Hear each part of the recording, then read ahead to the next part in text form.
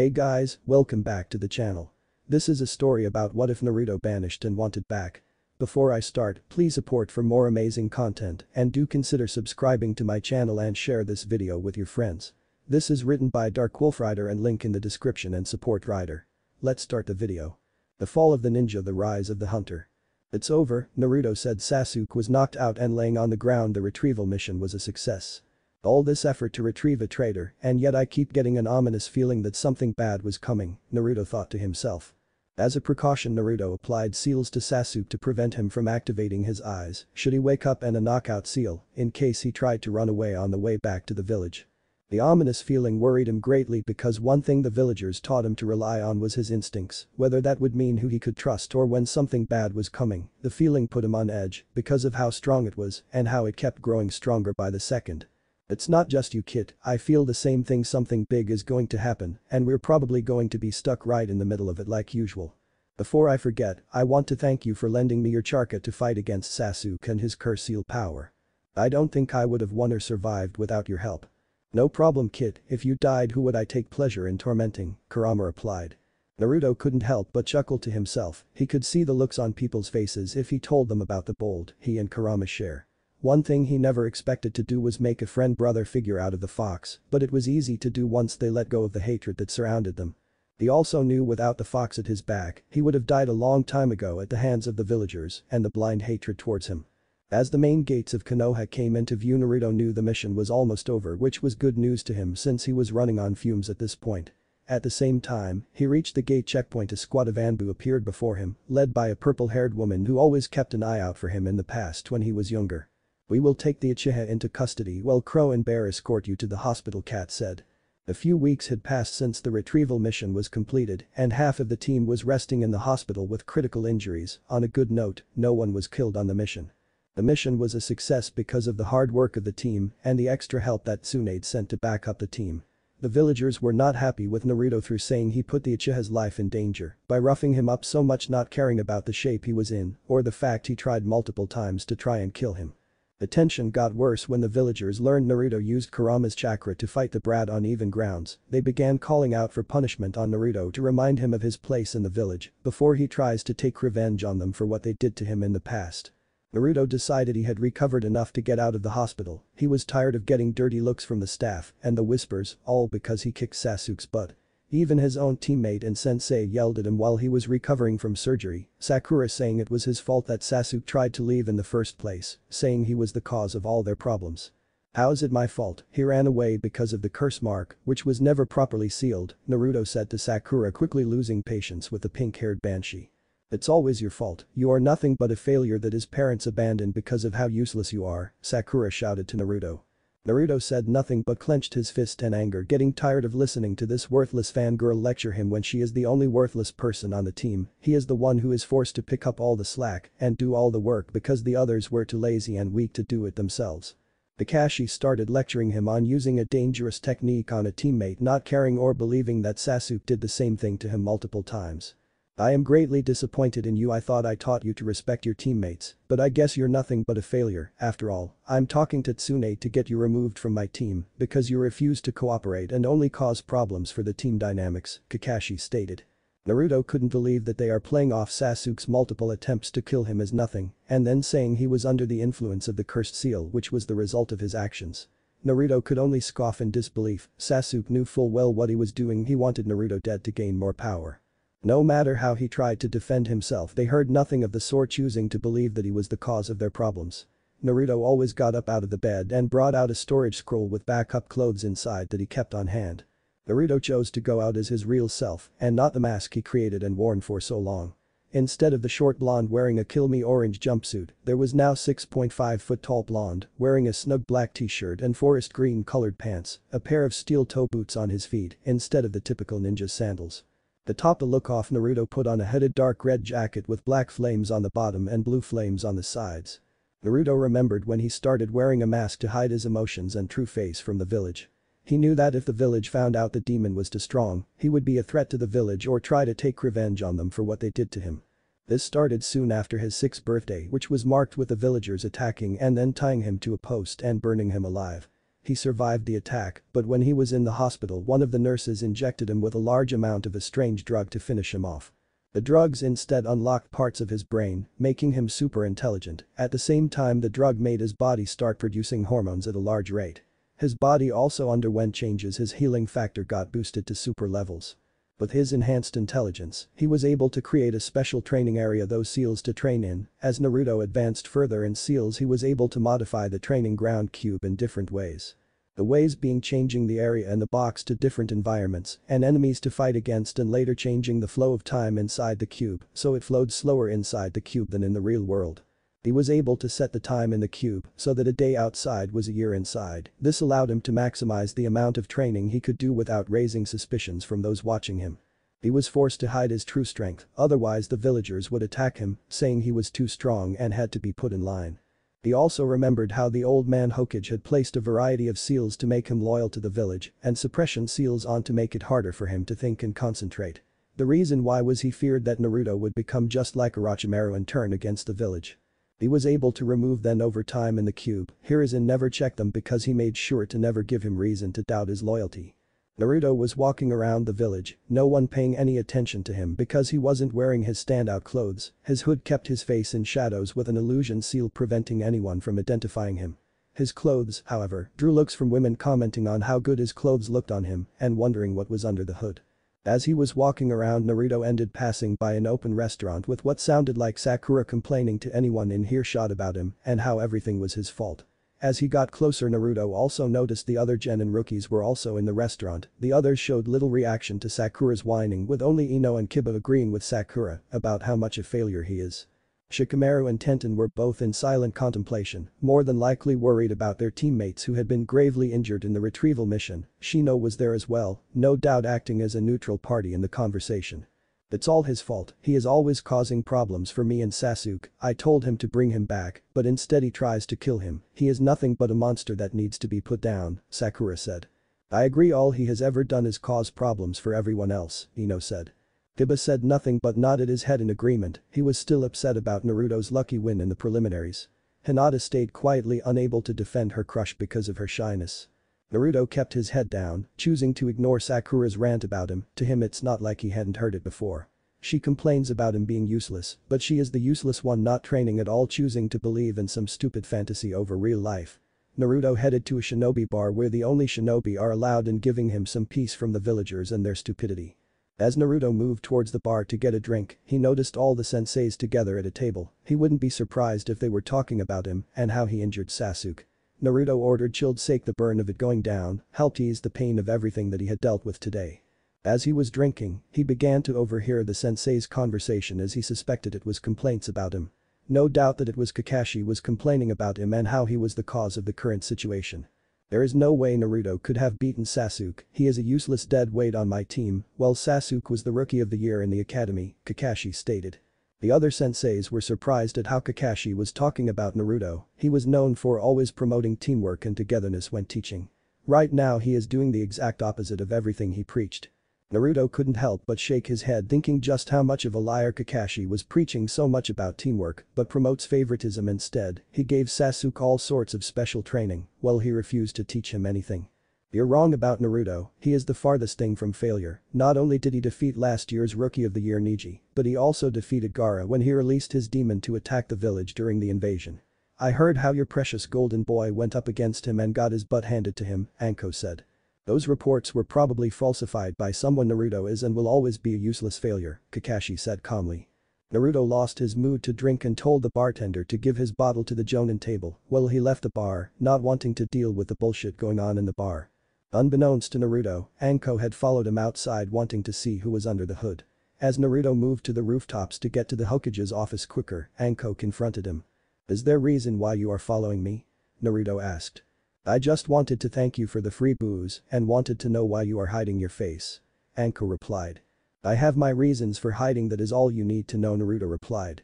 In order to prevent any more questions Naruto ducked into the shadows and moved quickly to Tsunade's office in order to ask to be transferred off Team 7, the team was a complete and under failure in his mind. As he got closer to the Hokage's office Naruto began to argue from inside the office, from the voices he could tell it was the elders arguing with Tsunade about the retrieval mission. He is far too dangerous to leave unchecked, he severely wounded the last Uchiha during the mission, Homura said. The battle site shows lingering amounts of the fox's chakra in the area, showing the boy used its power during the mission, Koharu said. He was left little to no choice to use the beast's power to fight against the traitor who was willingly using the curse seal power, Tsunade replied to the elders. The curse seal should have fully sealed away by Jiraiya in order to prevent the Uchiha from using it, Tsunade said. Regardless, the boy is quickly becoming a threat to the village and steps must be taken to protect the village, Danzo said. Especially with the news about the group that is hunting him has been brought to light, Danzo said. What are you getting at? Tsunade asked Danzo not liking the tone of the elder's voice or the uneasy feeling she was getting. We made the best decision to protect the village, we are banishing Naruto in order to protect the village from future threats, Danzo said. After Danzo finished talking there was an easy silence in the room Tsunade couldn't believe what she was hearing they wanted to banish Konoha's most loyal shinobi in order to save their own butts. The silence was quickly broken by Tsunade slamming her fists on the desk. There is no way I will allow that to happen, you are sending Naruto out to die to the Akatsuki, Tsunade said. Naruto couldn't believe what he was hearing, but soon began to shake with rage because of the elders. Naruto knew he had to calm down, otherwise they would notice him, well part of him knew this could happen, it didn't lessen the feeling of betrayal. Naruto hid because the door to the office was opening, letting the elders out with Tsunade following right behind them, arguing about his banishment. Naruto could only guess Tsunade would try to bring the matter before the council to overturn it, but Naruto knew that wouldn't work because of a hidden law the elders made that allows them to make one order go through, regardless of the council or the Hokage's interference. But the office empty Naruto snuck into the office with a banishment order sitting on the desk, using one of the seals he created Naruto made an exact copy of the document. He planned on sending this to all the lands that Konoha has treaties with because of his hard work, he won't let the village banish him and them profit off his work. Did I am sorry, I never expected the village to go this far because of their foolish hatred toward you, Kurama said softly to his friend. It's not your fault, the village has been rotting away since the night I was born, Naruto replied. What will you do now? Kurama couldn't help but feel angry with this ungrateful village, Naruto gave and gave, but the village never gave anything back to him except pain and misery. No matter what the village did, Naruto refused to give in to the hatred that surrounded him, over time he had come to like and respect him for his iron will and gentle heart. Kurama had lived centuries seen countless people faced with lesser problems crumble or break under the pressure, but his host refused to be broken by this corrupt village of fools. The village had done everything from beating him bloody, burning him alive, skinning him and raping him all for their own twisted pleasure, but every time he asked why he didn't want revenge on the village, his reply was a question that he could never answer. Would revenge be worth it if you become just like the villagers? Naruto knew he had to act fast, the elders could have something planned for him as a way of getting one last shot in at him. He created a squad of clones and had them gather everything from his various safe houses in the village while he went to his apartment to collect all his stuff, not wanting to leave any of his hidden projects behind. Before leaving the office Naruto moved the picture of the Yondaime Hokage his father to reveal the safe hidden behind it. Naruto quickly bit his thumb and swiped it across the lock to open it, the contents being his will and the location of his home. Naruto wasted time and headed over there not wanting to leave his parents' things for villagers to try and take. Once more Naruto created a squad of clones these to collect all his parents' stuff that was denied to him.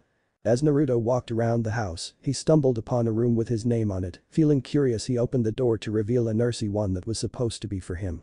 The crib was made from expensive wood and decorated for him. They really did love after all, Naruto said. He couldn't help but wonder for so long if his parents cared for him or did they support the village's actions and the pain he was put through. Jiraiya didn't give a damn about him and he was supposed to be his godfather, but he only cared about satisfying his own needs. This was all the proof he needed and was glad he came here, the all too familiar sensation of his clones dispelling was a sign it was time to go. With everything gathered and sealed away in traveling scrolls Naruto headed to one last place before leaving the village for good.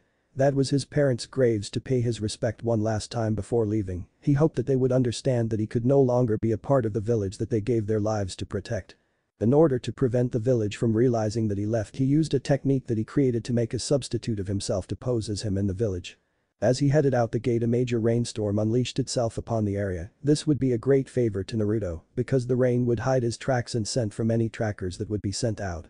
His first destination would be Wave Country to talk to Tazuna and rent a boat to take him to his mother's homeland of Uzu. He wanted to collect the treasures his clan kept sealed away in order to prevent them from being stolen. Unbeknownst to Naruto however a third party was watching Naruto through a scrying pool, the goal of the group was to capture Naruto and bring him to their leader. The group was cloaked in shadows, so no visible details could be made about the group. Keep an eye on him from the shadows, if the opportunity presents itself capture him, the voice coming from a cloaked figure the others nodded their heads in understanding, they knew what fate awaited them if they failed this mission. At the Naruto Uzumaki Bridge, two days later. Naruto soon arrived at the bridge leading to Wave Country that he helped create, he was surprised to see that the bridge was named after him. Huh, I didn't know they named the bridge after me, Naruto said to Kurama. You gave them hope when they had given up, of course, they would name it after you, Kurama replied. It gave Naruto a great feeling inside knowing he was able to help the people of Wave Country in their darkest hour. As Naruto made his way to Tazuna's house he saw how much Wave had changed since the fall of Gato. Naruto wanted to head to the bridge builder's house to talk to the man about getting a boat ride to Uzu and to let him know about the banishment order. When Naruto reached the house and knocked it was Inari who answered the door. Who are you? Inari asked not recognizing Naruto because his face was covered, Naruto took off the hood. It's Naruto is your grandfather home? Naruto replied Inari hugged Naruto happy to see the person who freed them from Gato's control. Naruto went inside and soon found Tazuna sitting down and drinking in the living room. Naruto not that we're not happy to see you, but what are you doing here? Tazuna asked. Naruto sat down at the table and began explaining everything to the family, from the start with the retrieval mission to him leaving the village due to banishment. By the end the family was disgusted with the village, they banished a loyal shinobi for a traitor. That's the story, I came to Wave to hire a boat that would take me to Uzu, Naruto said. Betting a boat won't be a problem the country owes you a debt of gratitude for giving us freedom from the tyrant, Tazuna said. Thank you, the sooner we can leave the better I rather not draw any attention to myself right now, just in case I'm being tailed, Naruto said. Naruto well confident he covered his tracks when he left the village still couldn't shake the feeling, he was being watched by someone or something. I'll get take care of the boat at the same time I will contact the daimyo and inform him that Konoha has banished our hero, Tazuna said. While father is doing that, I will help you gather supplies from in town, the people are more than willing to help you out, Tsunami said. Within a few hours, all the preparations were set and the boat was ready to leave, Naruto said his goodbyes to the family thanking them for their kindness in his hour of need. The boat would be taking would be passing close to Whirlpool on their normal route, this way they could help out Naruto without drawing any unwanted suspicions if anyone came snooping along. The trip to the island would take a few hours, so Naruto decided to meditate and talk to Kurama to kill time, one of the crew would let him know when they were close. Soon enough the island came into view, the crew set up a small sailboat that would get to Uzu and from there to Sea Country. This way he could be traveling in a separate direction from the ship and further hiding his tracks. As Naruto docked his boat on the island he felt a warm calming sensation from the island, almost if the island was welcoming him home. Moving at top speed it didn't take Naruto long to reach the center of the island and the remnants of the fallen village, the village itself had special seals on the village to protect it from time and would be grave robbers. Naruto created many clones giving them the task of burying the dead to give them peace, while Naruto headed into the cage tower to collect any scrolls that remained. Once that was finished, he headed to the vault where all the treasures and sacred scrolls of the Uzumaki clan were kept hidden away. Naruto cleaned out the vault of everything inside and made his way to the graves of his fallen clansmen to offer a prayer to the dead. But that done Naruto headed to the boat and away from Whirlpool for the last time, he chose to keep the protection seals on to prevent anyone from disturbing the dead. As Naruto headed towards Sea Country the feeling of being watched came back stronger than before, one of the most important thing Naruto learned in the village was to trust his instincts. Right now, they were screaming at him about something dangerous was watching him. Soon enough Naruto will find out how right his instincts are because the unknown group was still hot on his tail and they would stop at nothing to capture him. The group had monitored Naruto since his arrival in Wave Country and followed to the outskirts of Uzu until the barrier seals prevented them from getting any closer. The group would be making their move as soon as Naruto reached Sea Country because their base was there and they had others on standby in case anything went wrong. Once he reaches landfall move in to capture have the others be ready in case he tries to make a break for it, the group leader said, the others nodded their heads in understanding. Something doesn't feel right kid, be on your guard I think we have trouble in coming, Kurama said to Naruto something in the air was making him feel uneasy. I know, I can feel it too, Naruto replied. It was far too quiet and the air around him was very heavy with tension, trouble was coming fast and it was coming in hard. As if Kami could hear him several cloaked figures appeared before our hero, the feeling he got off them was not good in any way. What concerned him the most was the fact he couldn't feel any chakra from these people, which was impossible in the elemental nations, as even the civilians had chakra. One of the group members stepped forward, he wore the same black robes as the rest of the group, but he had on a strange red cape on top of his robes, Naruto figured this meant he was the leader of the group. You will be coming with us boy, trying to resist us is an unwise move, the leader spoke in a commanding voice. Naruto gave no reply other than to get into a fighting stance to defend himself against the unknown group, his plan was to create a distraction, then put as much distance between the groups as possible. The plan for the group was to distract the target with fighting, while a few others hid in the shadows, waiting to knock him out with tranq bombs. In only a few minutes Naruto had taken several members of the group and was currently fighting the leader, Naruto decided to use a flash technique to blind them while he got away. As Naruto readied a jutsu to temporarily blind them a cloaked figure hiding him in the shadows threw several tranq bombs at Naruto's feet, the tranq was designed to be fast-acting and to work on Naruto. Naruto only heard the bangs at his feet before he started to smell the chemicals. Naruto get out of there the chemicals are shutting down your body, Kurama yelled through the link, but it was too late. The trank bomb soon worked its magic and Naruto collapsed on the ground. Grab the boy and the injured and let's get back to base, with that said the leader quickly opened a portal to their base bringing Naruto along as a prisoner. The group arrived at their base and began setting up the main portal for the final transfer to their home base. The energy that powered the portal was made unsteady by the natural charka in the elemental nations, so the group couldn't keep it open for long, while small portals weren't a problem the main one uses so much spiritual energy that when charka is mixed in it makes the energy unstable and risks destroying the gate and leaving them trapped in the elemental nations. As the group was making their final preparations, Naruto was in his mindscape talking to Kurama about the current situation they were in. What do you think will happen now? Naruto asked. Kurama wasn't sure, but he could feel something bad was going to happen to Naruto, and he would have to make a choice on what to do. The group was ready and already setting up explosives to destroy the base and portal once they went through, they had to move quickly because the portal was already experiencing fluxes from the natural energy of the area. Naruto was pulled from his mindscape and found he was bound in cuffs that blocked his ability to use his chakra. As a precaution to prevent any escape attempts two men on either side took a firm grasp on each of his arms. As the group entered the portal a massive spike hit the portal, causing it to flux and become unstable. The portal began to fire off bolts of energy that hit the cloaked figures, turning them to ash in an instant. Naruto tried to escape from the portal, but the energy began drawing everything inside and soon sucking Naruto into the unknown. Shortly afterward, the portal collapsed in on itself ending with a large explosion that wiped out the entire base and removing any trace of it being there. Naruto was failing through space, and time the energy around him made him feel like his body was being torn apart soon enough, Naruto found himself in his mindscape in front of Kurama's cage. Naruto felt that this was the end for him, but he didn't want to drag his only friend with him, so he went to remove the seal and let Kurama go free.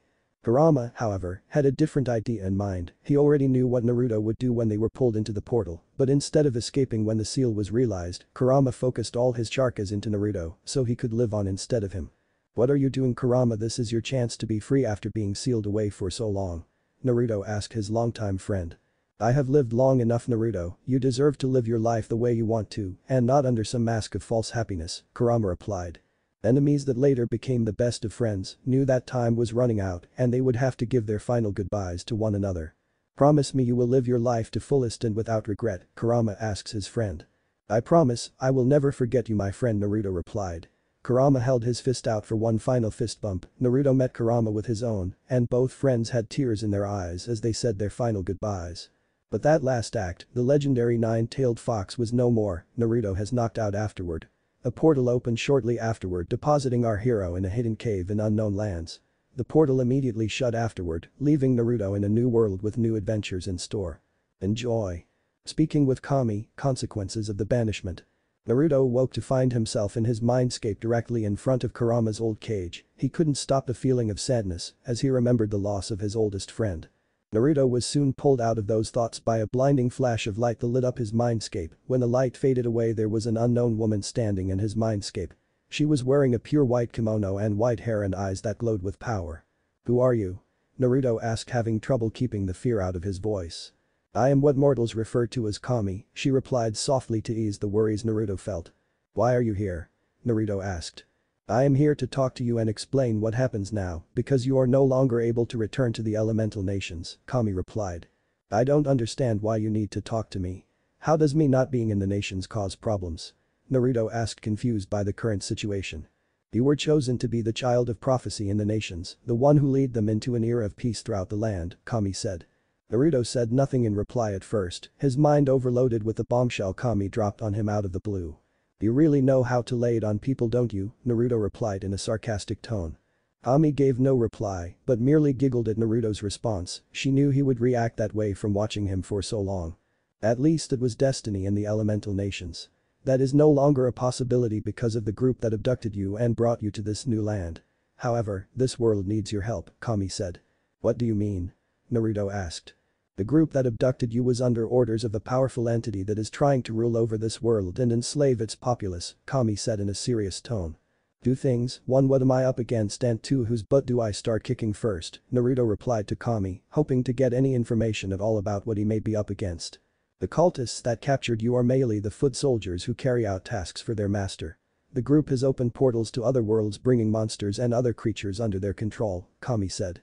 Naruto said nothing at first trying to imagine what type of creatures he will be fighting against in the future. Almost as if reading Naruto's thoughts I will give you a journal that will constantly update itself whenever you encounter a new monster or creature. I will also give you weapon plans that will help you in your hunts against the creatures, Kami said. Thank you very much, I greatly appreciate the help you have given, Naruto said with his usual smile. Before we part ways, I have a few gifts for you. I have collected all of your parents' things you were unable to collect before leaving the village, I also put all the elemental nations techniques in the same scroll, Kami said. One more thing, there are three people want to meet with you before you leave, Kami said. As she finished talking the area lit up once more revealing three new figures, the people were Minato, Kushina, Hagoromo Otsutsuki. Minato and Kushina wasted no time in running over and embracing their child that they were unable to raise themselves. Both parents had tears running down their cheeks as they apologized for the life that he was forced to live and how the people they trusted turned their back on them. I can't apologize enough on how much the village screwed you over, we had so many plans for you and how we wanted to raise you. The village took everything away from you before it could be given, Minato said. I remember the last time I held you could barely fit in my arms, but now you have grown up so much. I am so sorry we wanted to be in your life more than anything, Kushina said with tears in her eyes.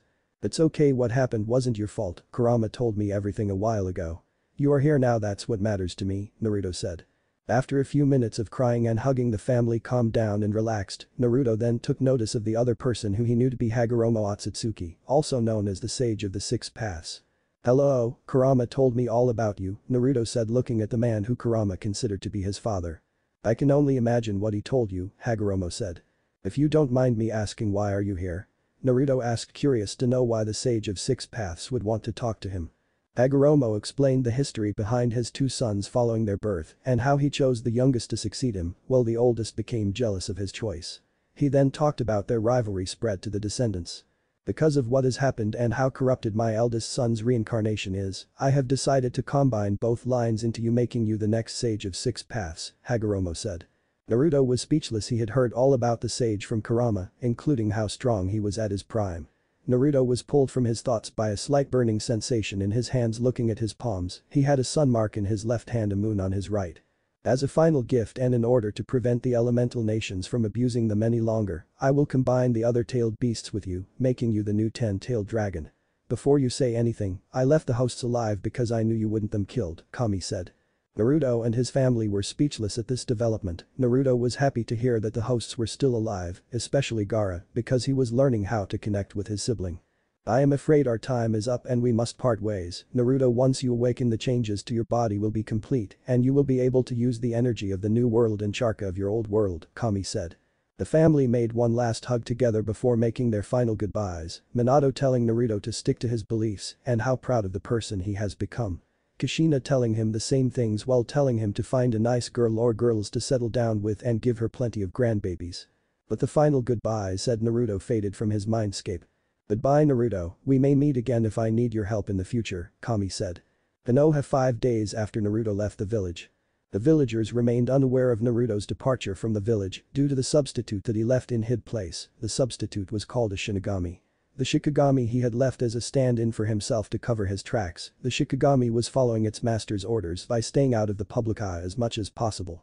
This would soon end though, because the council had ordered Naruto to be brought before him to face his punishment for hurting the last Uchiha.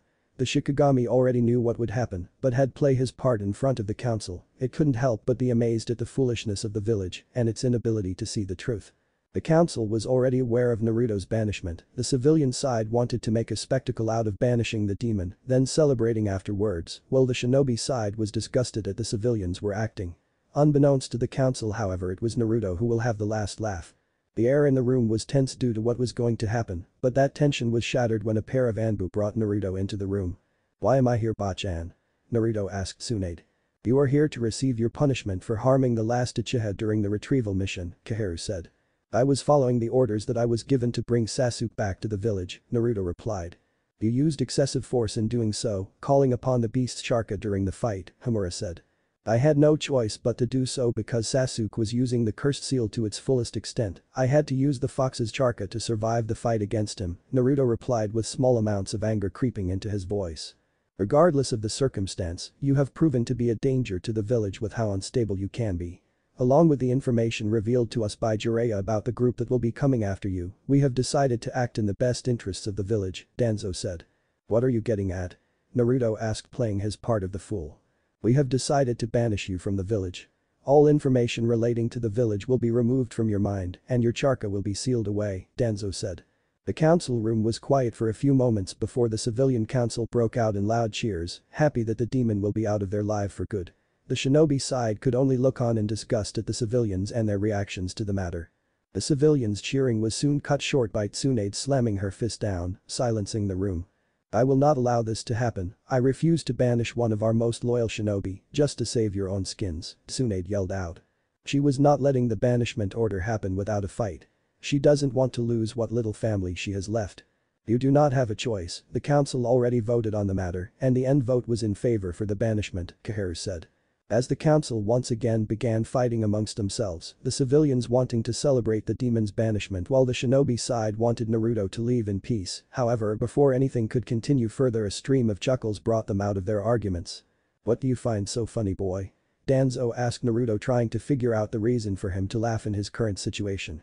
I'm laughing at you people, the boss was right when he said that you people choose to see and believe only what you think is the truth, the Shikigami said.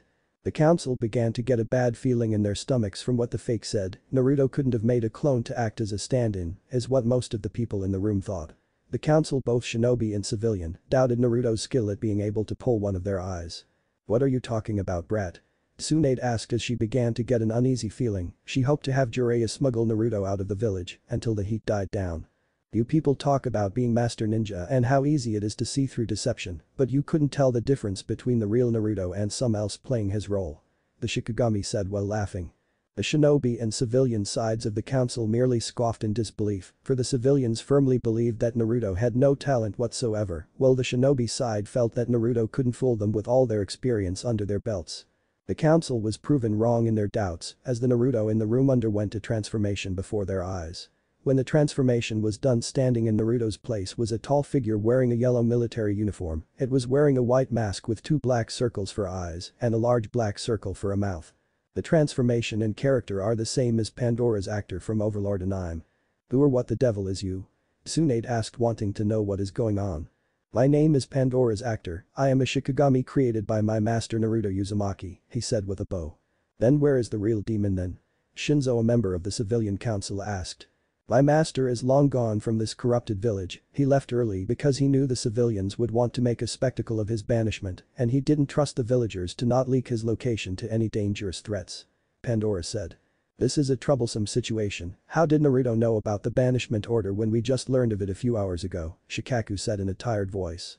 I would like to know that as well, Tsunade asked, hoping to get a clue on where Naruto may be so Jiraiya can protect him until the banishment can be overturned. Naruto found out about the banishment when he visited your office, you were meeting with the elders, and he heard the entire conversation about how he was being banished to protect their own hides, Pandora said. The council room was quiet as they tried to process this information, the elders were extremely annoyed because they had a plan to get rid of the Akatsuki by using Naruto as bait were ruined. You expect us to believe that the dead last was able to plan so far ahead and create you, what a load of garbage, Shinzo said, choosing not to believe what was in front of him. You people were easy to fool because you saw what was on the surface and saw that is the truth, you never believed that Naruto could be stronger, then he led on. You couldn't even tell that he was wearing a mask for so long because you thought it was the real Naruto, Pandora said. Tsunade had suspected that the face Naruto shown to the public was a lie he created to keep the villagers from attacking him, she had done the same thing until Naruto knocked some sense back into her. As the council processed the information that they were given Pandora began to fade away, signaling that the chakra that was powering him was running out and he would soon disappear. Tsunade and the others were pulled from their thoughts once again by Pandora's laughter. As they turned towards him they noticed that was fading away. What is so funny? We can just use you to track down Naruto's location, Danzo said while signaling to his guard to capture Pandora. You people are what I find funny, you think you're in control of the situation, but that couldn't be further from the truth. My master was several steps ahead of you all, and you all let it happen by choosing to never dig any deeper than what was on the surface. He fooled the entire village into believing a lie without having to lift a finger to do so, Pandora said, amused by how foolish the council was. With his final message said Pandora disappeared in a puff of smoke, leaving behind a paper doll that quickly turned to ash. The council room erupted into a shouting match with the civilians wanting to send out ninja to track Naruto down and take him out, while the shinobi side wanted him caught before he could release any of Konoha's secrets to the other villages. Finally, Tsunade had enough and demanded silence in the room. Enough, we need to figure out what our next move is going to be. Before you idiot civilians say anything, Naruto can't be in the bingo book because he is no longer a ninja of the village, Tsunade yelled out. The civilians started mumbling to themselves about sending hunters after the brat. Danzo was making his own plans to send his men to capture the boy and bring him back so he could be molded into the perfect weapon for the village. Three weeks later at the same time Naruto went through the portal. It had been three weeks since Naruto was banished from the village, while the villagers celebrated the fact the demon was gone that soon came to an end. Tsunade ended the celebrating by declaring martial law in the village, she was disgusted at the village that Naruto gave so much to protect. Unfortunately for the village all of the allies that the village had trade agreements and trade routes with were not amused at all. They were incredibly upset at the fact the village banished the one that they considered to be a hero to them.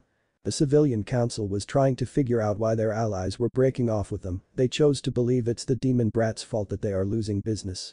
The situation will only get worse because the fire daimyo is en route to the village to discuss the banishment orders.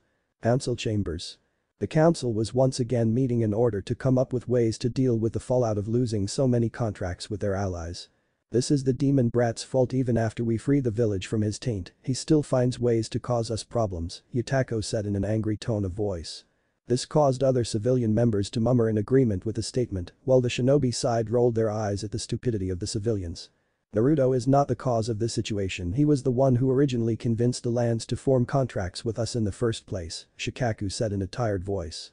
He like many of the shinobi side was getting fed up with listening to the council's whining, he could be napping or cloud watching right now instead of being stuck here.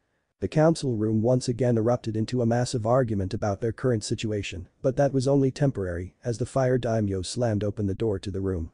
The fire daimyo was not amused in the slightest, he had come to the village to find out why all their allies were breaking their agreements with his land. When he asked the countries why they were breaking their contracts the answer was the same from each of them. The village had banished Naruto for doing his duty and to protect themselves from a dangerous threat. Naruto saved their lands from cruel tyrants, mad scientists, and restored hope and faith to their lands. When the village banished him for doing his job, they wanted nothing to do with that village, this also disgraced him and damaged his reputation as a ruler. Fire Daimyo-sama why are you here? Tsunade asked wondering if he is here because of the fallout from the contracts being broken. I am here to discover why this village banished the one who got so many villages to trade with us, but is also a national hero in those lands, the daimyo said with an iron tone in his voice. He was banished because he gravely harmed the last Uchiha during the retrieval mission and the fact he was becoming a dangerous threat to the village, Shinzo said in reply. So, because he did his job and retrieved a traitor of the village, you foolishly banished him, Ryoku a member of the fire daimyo's guard said.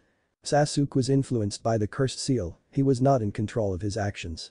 Yutako said. Why wasn't the mark fully sealed away by Jiraiya? In order to prevent that from happening in the first place. The daimyo said annoyed that the incident was taken care of from the beginning before it could get out of control. Kakashi sealed away and he was confident that the seal would hold as long as Sasuke resisted the seal's influence, Homura said. Kakashi is not a seal master, the cursed seal should have been permanently sealed away by Jiraiya as soon as possible, not allowing it to take root in the Uchiha. Ryoku said. Any further discussion was silenced by a blinding light in the room, when the light cleared there stood four figures in the room. The council recognized Minato and Kushina, but the other two were unknown to them. Kami is the same description as earlier, the first one was white-haired woman and a skeleton wearing a black robe with a dagger in his mouth and holding a set of prayer beads in his hands. May I ask who the two of you are and why you are here? Tsunade asked with a light tone of fear in her voice, she could feel the power rolling of these two and knew they shouldn't be messed with. I am Kami and my companion is the Shinigami. We're here to inform you of the fallout of your actions, Kami said. The council room was completely silent due to the shock of having two gods standing in front of them. The silence was broken when Kami waved her hand and several people were teleported into the room, the people being Jiraiya and the rookie 12, minus Naruto, with their senseis. The group was first woozy from the sudden transport but soon realized where they were. The adults easy recognized the fourth and his wife but didn't know the other two, they only knew that they were incredibly powerful. How are you and why did you bring me here? Sasuke asked in an arrogant tone. The other rookies preformed the Facepalm no Jutsu at Sasuke's arrogance, even though he lost to Naruto his ego was becoming bigger and the others refused to work with him because of it. You're so cool Sasuke-kun, Sakura and Ino said. Kushina felt such disappointment from seeing how her best friend's son turned out, he was a mirror image of his father.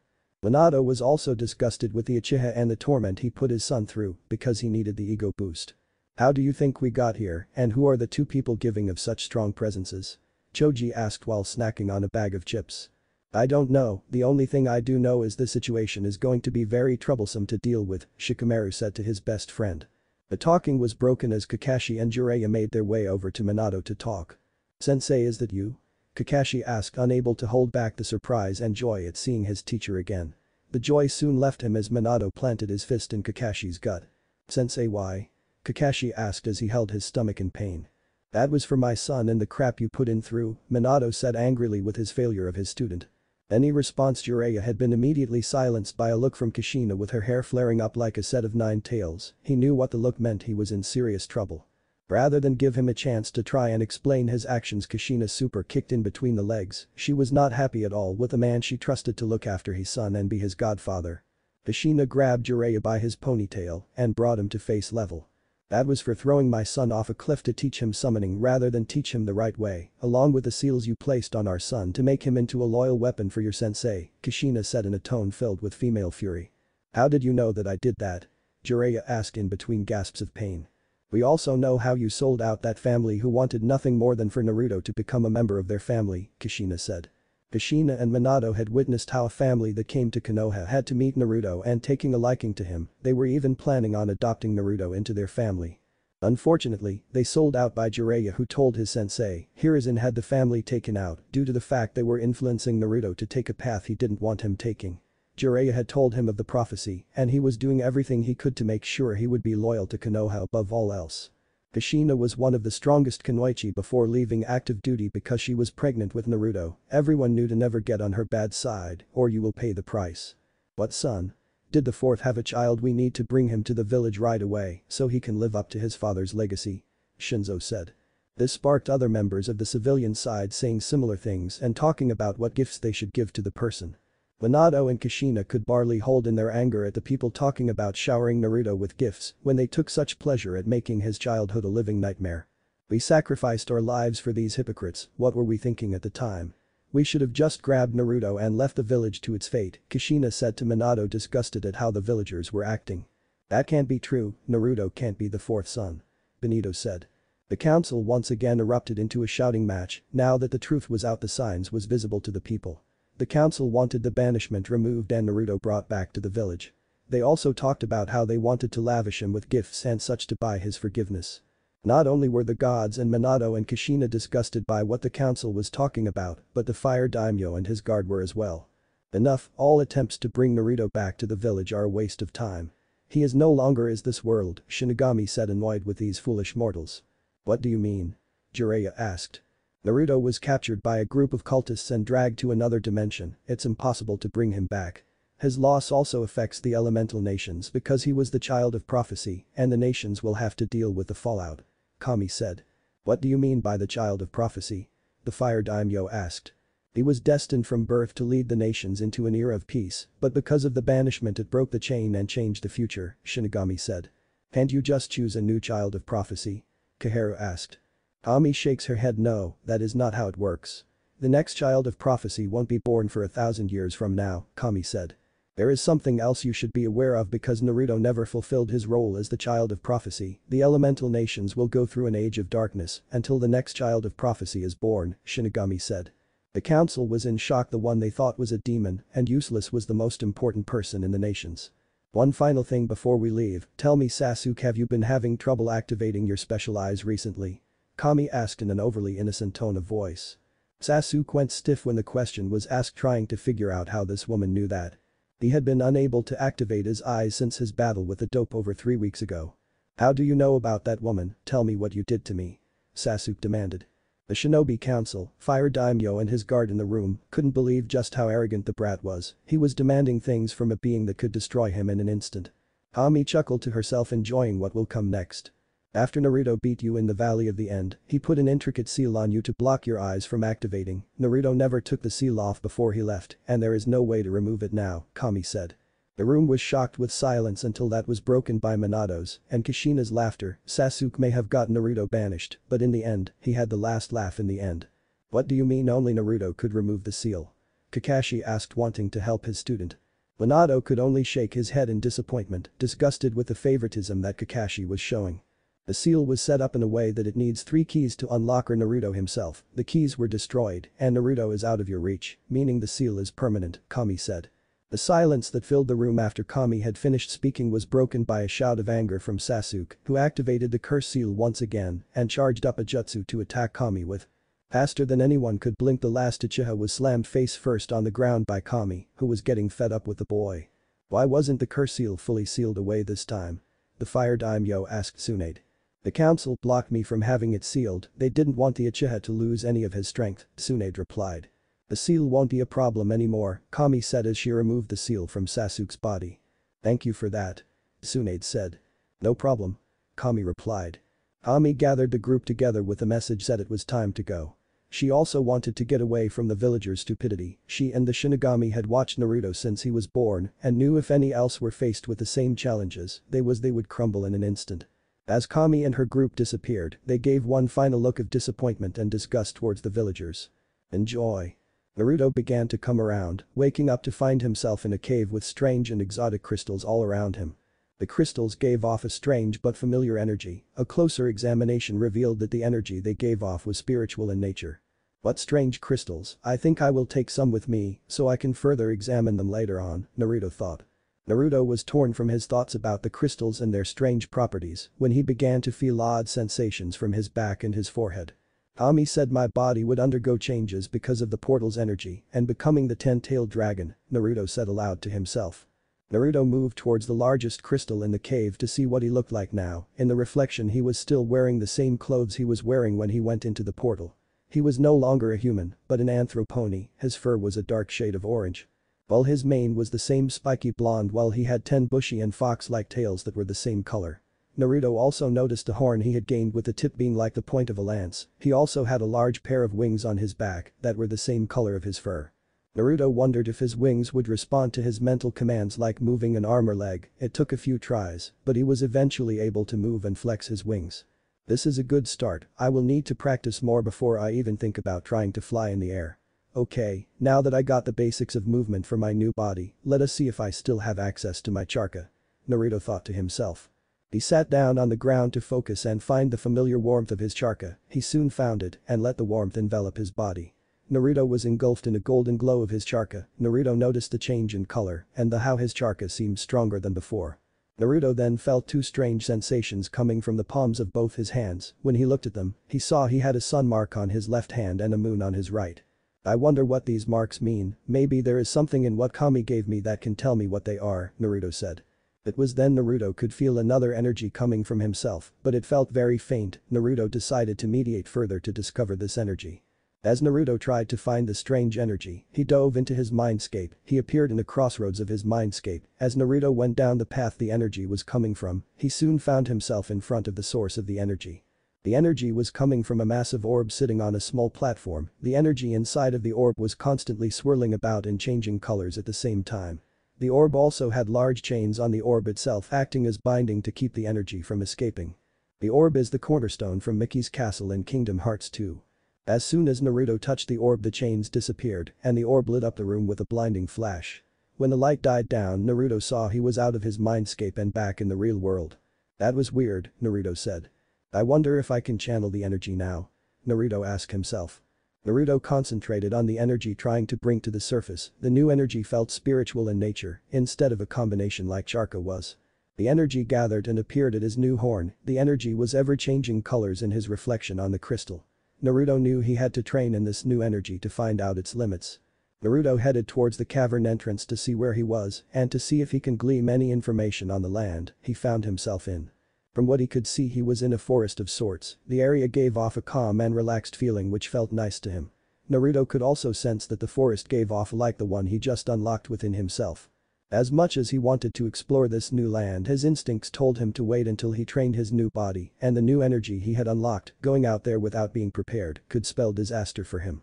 Naruto headed back into the cave, but not before placing seals along the entrance to the cave to hide it from any animals and prying eyes.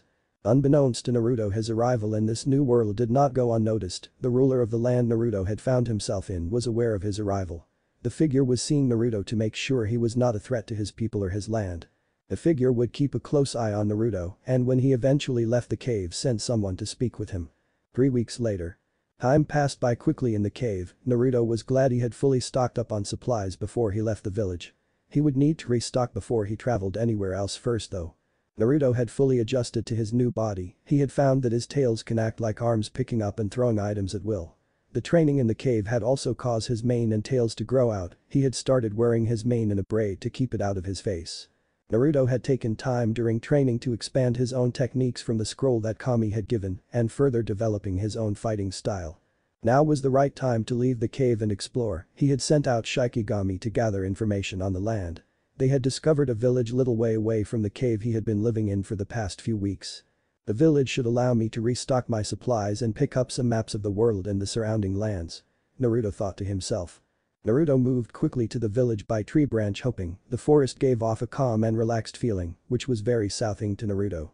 At the same time Naruto got an ancient feeling as well, it said that the forest has been around for a long time.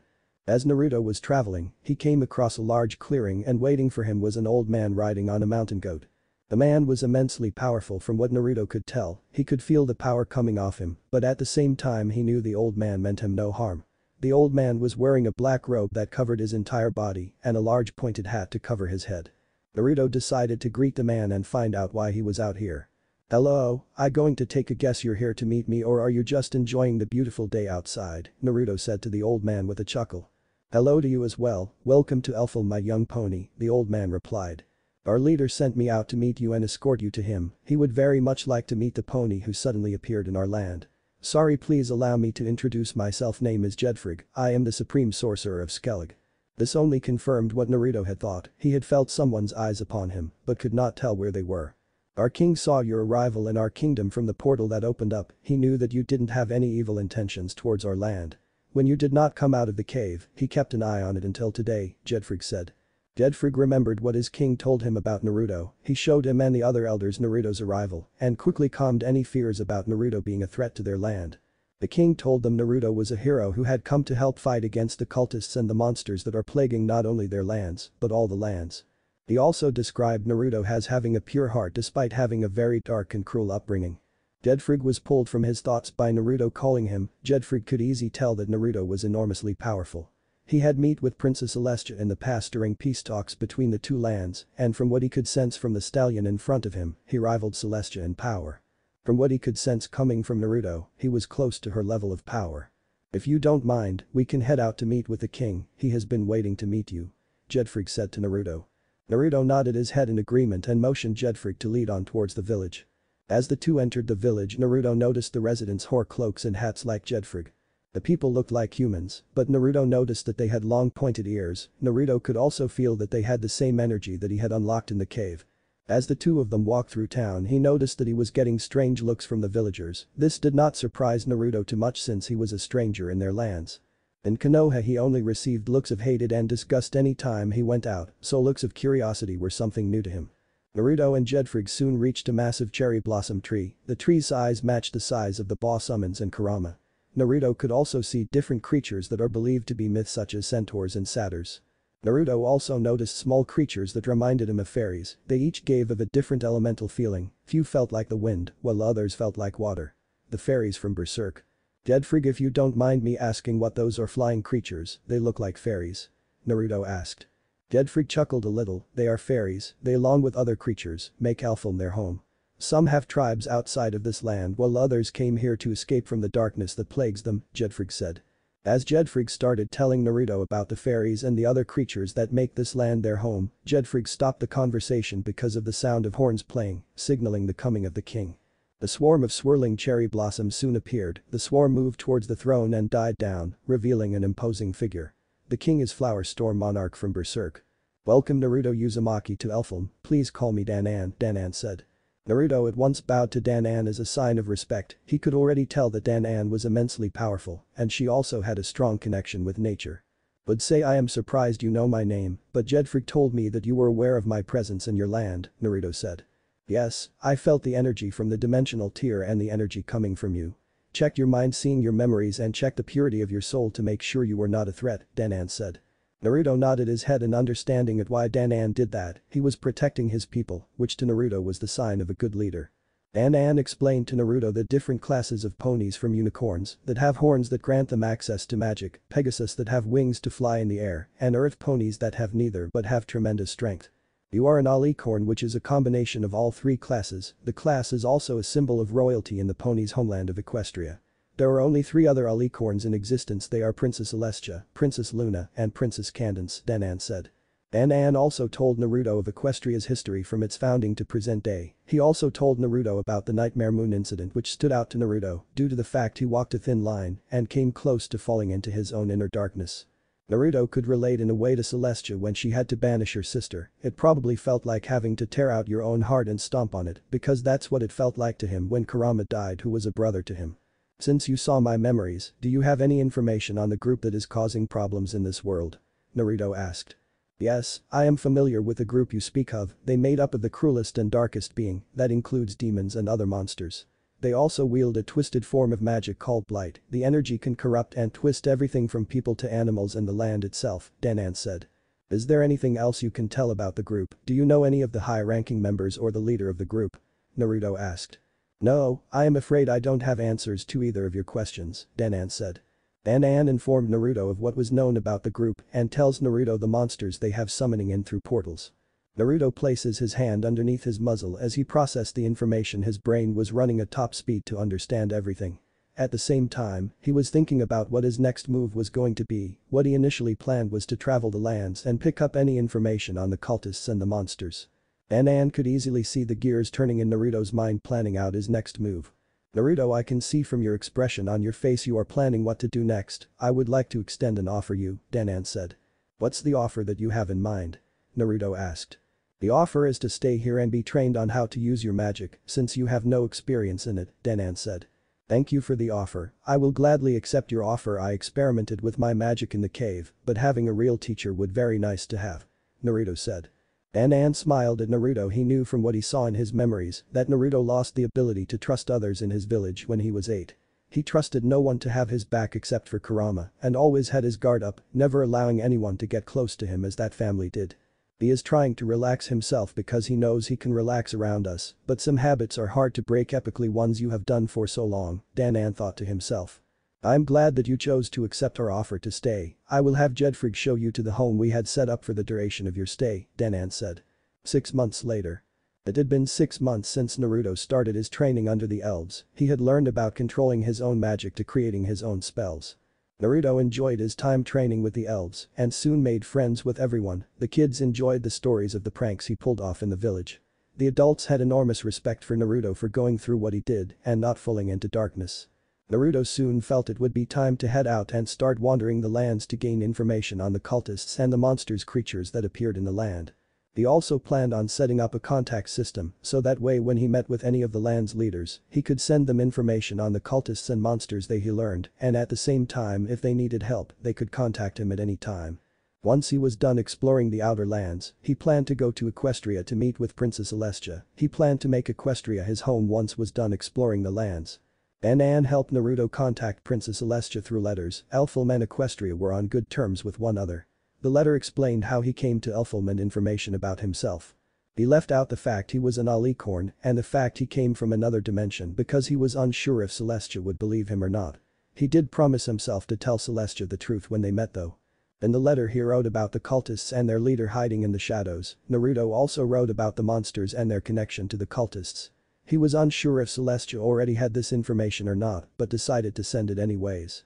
One final thing included in the letter was a necklace with a sun-shaped charm, the charm will allow Naruto to send scrolls directly to Celestia at any time.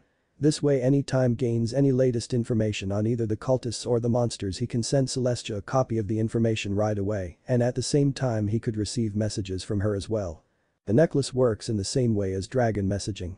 Naruto soon finished saying his goodbyes to the friends he made during his time training in the village, the elves were first wary of him being an outsider, but they quickly warmed up to him. The kids were the first to do that through the stories Naruto would tell about his missions that he did and the pranks he pulled on the villagers. Naruto was standing in Danan's throne room to say goodbye and give thanks to the kind monarch for everything she had done for him. Naruto was wearing the same outfit as when he first landed in Elfhelm. Have you decided where you are headed to first? Danan asked.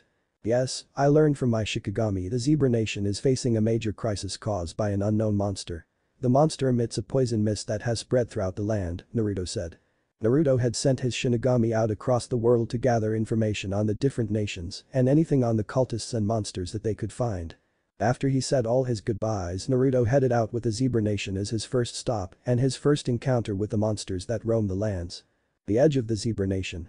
It had been few days since he left Elfhelm, but Naruto finally reached the edge of the Zebra Nation. Naruto could already feel the mist already hitting him, the mist did not affect him because of his body's natural healing ability. This is an awfully bad sign if the mist could be felt from the edge of the land, it must be even worse further inward.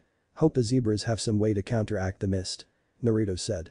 From what information he had gathered the mist did not kill you outright it slowly weakened you leaving you vulnerable to attack. The effects only lasted while you were in the mist itself, and the mist could disperse through fire, using a torch or bonfire will remove the mist from that area if the fire burns. As Naruto moved across the land, he discovered various footprints from different monsters, these, and along with traces from the monsters, would allow him to find and identity the creatures. The tracks were lighting up in a green color because of the scout flies, they are a unique brand of fireflies they change color depending on what scent they came across. They swarmed on tracks or any residue of monsters and any plants that may prove useful. Naruto followed the tracks into a wooded area, the tracks showed a large pack of small monsters and one set of large tracks, which must have been the alpha leaders. Naruto stopped in a large clearing because of the reaction from his scout flies, they had swarmed upon a scrap of flesh, but were turning blue. That's not good, for the scout flies to turn blue means that this flesh came from an elder dragon, Naruto thought to himself. Elder dragons were monsters who wielded incredible power, it is believed they had the power to destroy the world. Naruto was pulled from his thoughts by the sound of footsteps approaching his location, thinking it could be a local, but taking no chances, Naruto kept one hand close to the sword resting on his waist. As Naruto suspected it was a female zebra wearing animal skins for clothing, she also had various gold jewelry from rings on her neck to hoop earrings. She had the Amazon-like body, and her mane was in a mohawk fashion. Who are you stranger and what brings you to this especially during time of crisis? The female zebra asked. My name is Naruto Uzumaki, I came here to investigate the rumors of the creature plaguing this land and put an end to it, Naruto replied. The female zebra was surprised at Naruto's answer, her and the other tribes had investigated what was causing the mist. They found the creature and despite their best efforts they were unable to drive off the creature. My name is Zalika, I know of the creature you speak of, Zalika said. Before the two of them could continue their conversation, they were suddenly attacked by a large group of reptiles-like creatures moving towards them on all fours. They were Girros, they were coated in the mist to weaken their prey. Girros from MHW. Monsters that are known to attack in packs, using the deadly vapor of the rotten veil to their advantage. They are known for crippling targets with their paralyzing fangs. Naruto quickly grabbed a scroll hanging on his waist and summoned out a pair of twin swords, sword rapiers from MHW, and got into a basic stance to prepare for the monsters. The blades were naturally imbued with a water element, which is what the creatures were weak to. They have a bite that can stun so you so be careful, since they are coated in mist, they can use that to weaken us as well, Naruto said to Zalika. Zalika nodded her head in understanding having fought these creatures before. Between the two of them they made short work of the creatures, as they started to catch their breath, a loud noise came the woods, signaling the fight was not done yet. From the woods appeared a larger version of the creatures they were just fighting. Great Girros from MHW, a monster that scavenges for meals dropped from the Coral Highlands. It acts as the alpha leader of a Girros' pack and sports giant fangs that paralyze its prey. Naruto and Zalika just prepared themselves for round 2 against the creature. Naruto moved quickly jumping up and spinning down Great Girros' back in a wheel-like motion striking the beast with his blades the entire way. Zalika quickly followed up with a set of quick strikes, with her daggers against Great Girros' head doing critical damage. Naruto quickly responded with a combo of his own. Naruto fired of around water bullets at the Great Girros, the bullets knocked the monster on its side, leaving it open to Naruto's and Zaka's joint attacks. Naruto seized an opportunity and mounted the monster's back, he did not do the traditional mounting attack, but stirred the Great Girros into a wall when it charged forward to shake off Naruto. The impact with wall stunned the monster Naruto ready to water spell to use on Great Girros, the spell formed spears of water from the air surrounding him and had them piece through the monster's hide. With one final cry the Great Girros fell over on its side dead from the battle with Duo, he smiled at his partner and made sure she was okay. Naruto quickly sheathed his blades on a holster on his lower back and turned to his partner with a smile on his face. The female zebra proved that he was very skilled and handy with her daggers. Thank you for your help with the monsters, Naruto said to Zalika. You are most welcome, your skill with the blade is most great indeed just what my people could use in our time of need, Zalika said, forgive my lack of skill in writing rhymes. Naruto started sealing away the bodies of the monsters so that he can process them later. Certain body parts can be used in the creation of new weapons and armor. The organs can be used to make potions and other medicines when mixed with the right herbs. Zalika was impressed by Naruto's skill with his blades and how he easily dispatched the monsters. She could not help but wonder how he knew so much about the creatures in the first place. I must ask a favor from you can you come with me to meet the leader of my village, she will want to meet the one who can take out the creatures so easily. She would also like any information you have on the monsters that you have, Zalika asked. That is okay with me, before I met up with you, I found tracks of an extremely dangerous monster. It is on a completely different level than the one we just fought against, Naruto replied. It did not take them long to reach Zalika's village, it was what you would expect from the tribal zebra nation with huts making up the village. The zebras themselves looked to be in rough shape from the constant struggle with the monsters. Naruto noticed they were giving strange looks, probably because they are wondering why a pony has come to their village.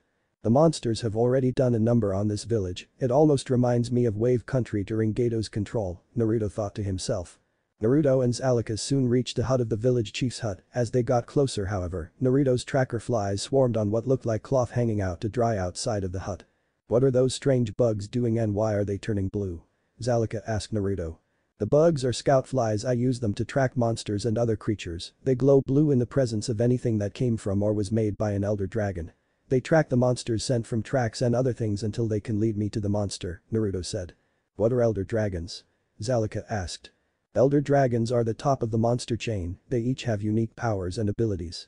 They are also believed to have the ability to destroy the world which makes them an exceptionally large threat, Naruto said. Zalika uh, and the other zebras listening to the conversation were very afraid from hearing Naruto's description. Naruto felt a pulse coming from his monster journal, signaling that a new page was unlocked and quickly opened to the new page. The creature is Vaal Hazak, Valhazak MHW. The grotesque elder dragon that inhabits the deepest part of the rotten veil. It uses the fatal vapor of the veil in what is a symbiotic relationship. All journal entries will appear the same as in the Monster Hunter game universe. The monster is weak to the fire and dragon element, that's good to know. I don't have weapons with the dragon element, but I do have a fire element great sword, Naruto said. I should thank you for helping us get rid of the creature plaguing our land, but I can't help but wonder why you are doing this in the first place, a voice from the hut spoke to Naruto. My name is Rusum, I am the leader of this village in the Planeswalker tribe, she said with a firm tone of voice. My name is Naruto Uzumaki, wandering pony and monster hunter. I came here because I heard of a strange creature causing problems to your land, Naruto replied. Rusum said nothing at first, she had been listening to the conversation about the creature, the pony was confident he could fight it. She would put her trust in him for her village's sake. Know of its lair, the fight will not be an easy one because of the location.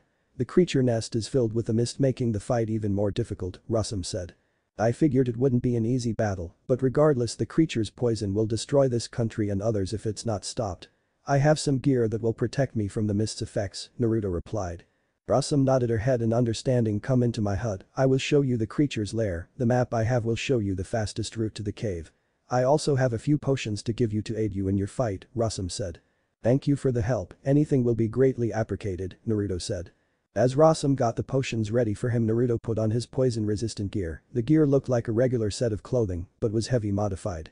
The pants had enchantment on them to stop the buildup of the mist, the gloves and chest piece had fire-boosting enchantments to strengthen fire attacks, and finally the helmet had special filters to block out any poison in the air. The weapon he was using was called Red Wing, Red Wing from MHW, he had made it during his time with the elves, his was made using standard metals and ores, while the one in his book was made with Rathalos parts. What is that weapon you just brought out? Zalika asked Naruto curious as to the weapon resting on Naruto's back. It's a great sword called Red Wing, the blade is imbued with the fire element, which is what Vaal Hazak is weak to, Naruto replied.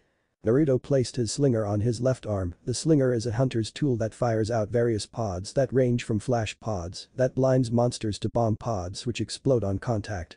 The sling also has a grappling hook attachment to reach high places or to get out of sticky situations. Naruto, I have finished making the potions and marking the path to the cave, Rusum said.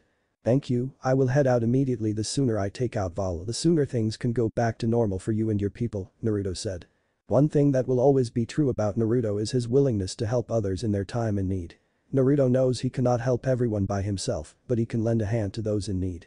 Naruto exited the hut and moved towards the path that would lead him to the cave. He would move fast to not waste any time. It did not take long to reach the dragon's lair, before entering the cave Naruto went through his items to see what he would put on his belt for quick access during the fight. He loaded his slinger with flame pods to disperse the mist during the fight, with flash pods as backup to blind and confuse Val if needed. Naruto also made sure his blade was fully sharpened for the fight.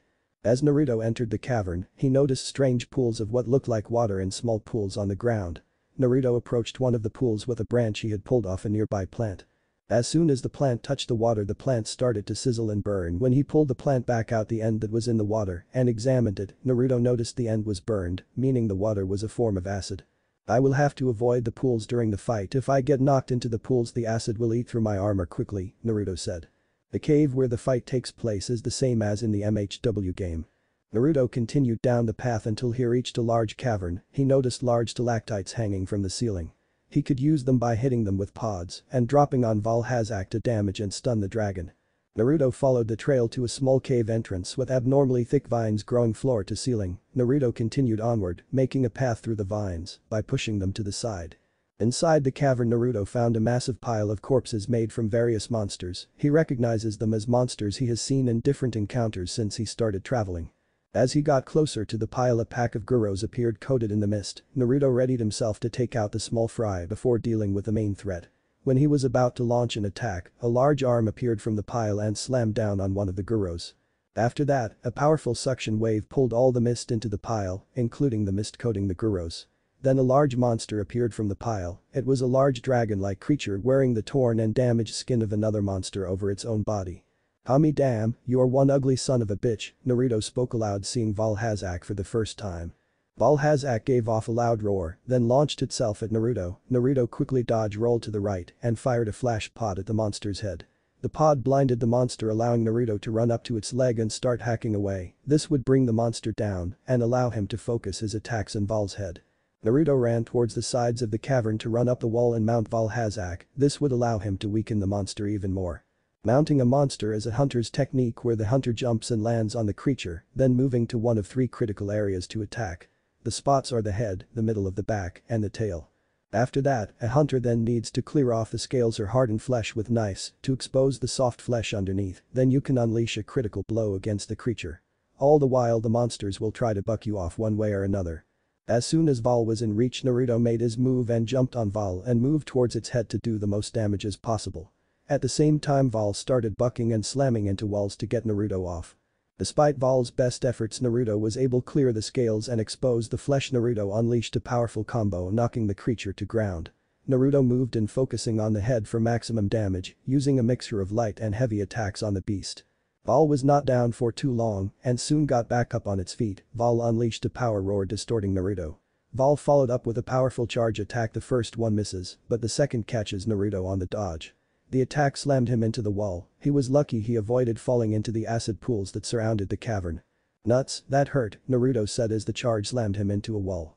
Naruto then noticed Val had stood up on his hind legs and was sucking in air, Naruto knew whatever Val was doing it was not good news and decided to make some distance between the two by grappling up to the ceiling and channeling chakra into his feet to stick to the ceiling. As soon as he landed on the selling Val unleashed a massive breath attack starting at its feet and spreading out from there, Naruto waited until the attack was done, then threw a kunai with an explosive tag towards a stalactite and dropping down on Val. Val was stunned by the impact which gave Naruto the chance to unleash a jutsu upon the stunned creature. Fire-style Great Chaos Fireball, Naruto roared as a massive fireball left his mouth and exploded upon hitting Val, small lava pools also formed at the point of detonation. This caused Val to let loose a horrible scream of pain, as all the fire did massive damage. In vengeance to his attack Val unleashed a massive breath attack that seemed to reach across the entire room. Naruto could tell Val was on its last legs, it had wounds on its body and was slowing doing more. The attack slammed into Naruto throwing into one of the acid pools, Naruto at once jumped out of the pool, he could feel the acid eating away at his armor. It's time for the final push, Naruto thought to himself. Val collapsed on the ground if stunned, but Naruto could tell it was pulling in miasma towards itself. Naruto rushed towards the head to get strikes in before it pops back up, but before he could Val let loose a miasma-filled explosion. Naruto quickly substituted himself with a large boulder and fell back to down a potion and heal from the damage. Naruto began channeling and storing a large amount of energy inside Red Wing, he planned on mounting Val once more and unleashing the stored energy in a massive blast. Naruto prepared to mount Val for the final time and end the creature once and all. With a loud battle cry Naruto ran towards the best jumping into the air and using the grappling hook to mount the creature. Naruto jumped on the head and started hacking away the scales to reveal the soft flesh. Now die you bastard Naruto exclaimed thrusting the blade deep into Val's skull and unleashed all the stored energy inside the blade. With one final roar Vaal Hazak collapsed on the ground dead. That was a difficult fight, I am going to have to practice more with combing my hunter and ninja skills. Naruto thought to himself. The miasma in the cave and the pools of acid water did not make the battle any easier. Naruto sealed Vaal Hazak's body away to be examined for parts for armor and weapons later, certain parts of the monsters could be used in making new weapons and armor. The journal also had recipes for healing items and other things that could be made from the monster parts. Now that Val is dead the miasma should start to fade away and the zebras should be able to recover from this terrible event. Naruto said. It did not take Naruto long to reach the cave entrance, the sun was beginning to set, but Naruto could easily see that the miasma was disappearing quickly from the land. The cave entrance also gave Naruto a beautiful view of the savannah land. This is a magnificent view, I will have to sketch it later on. Naruto thought to himself. Naruto had learned how to draw and do other forms of art to help him relax from all the stress the village put him under. He remembered the family that taught about art and music, he remembered all the joy he had with them and the pain that followed later. Naruto made the return trip to the village in record time, the miasma had already faded away from the village, raising the spurts of the inhabitants. As soon as they saw him, they had broken out into cheers for him. Naruto was a bit nervous by all this being so used to receiving only negative emotions from the villagers, this was completely foreign to him. Everyone in the village was outside clapping and cheering for him, Naruto could only smile awkwardly and wave back to them unsure what to do. Rasam quickly appeared silencing the cheers till she could talk to their hero. We can't thank you enough for helping us rid the monster that has plagued our people, Rasam said. Naruto said nothing at first, he just rubbed his hand behind his head in embarrassment from all the praise he was receiving.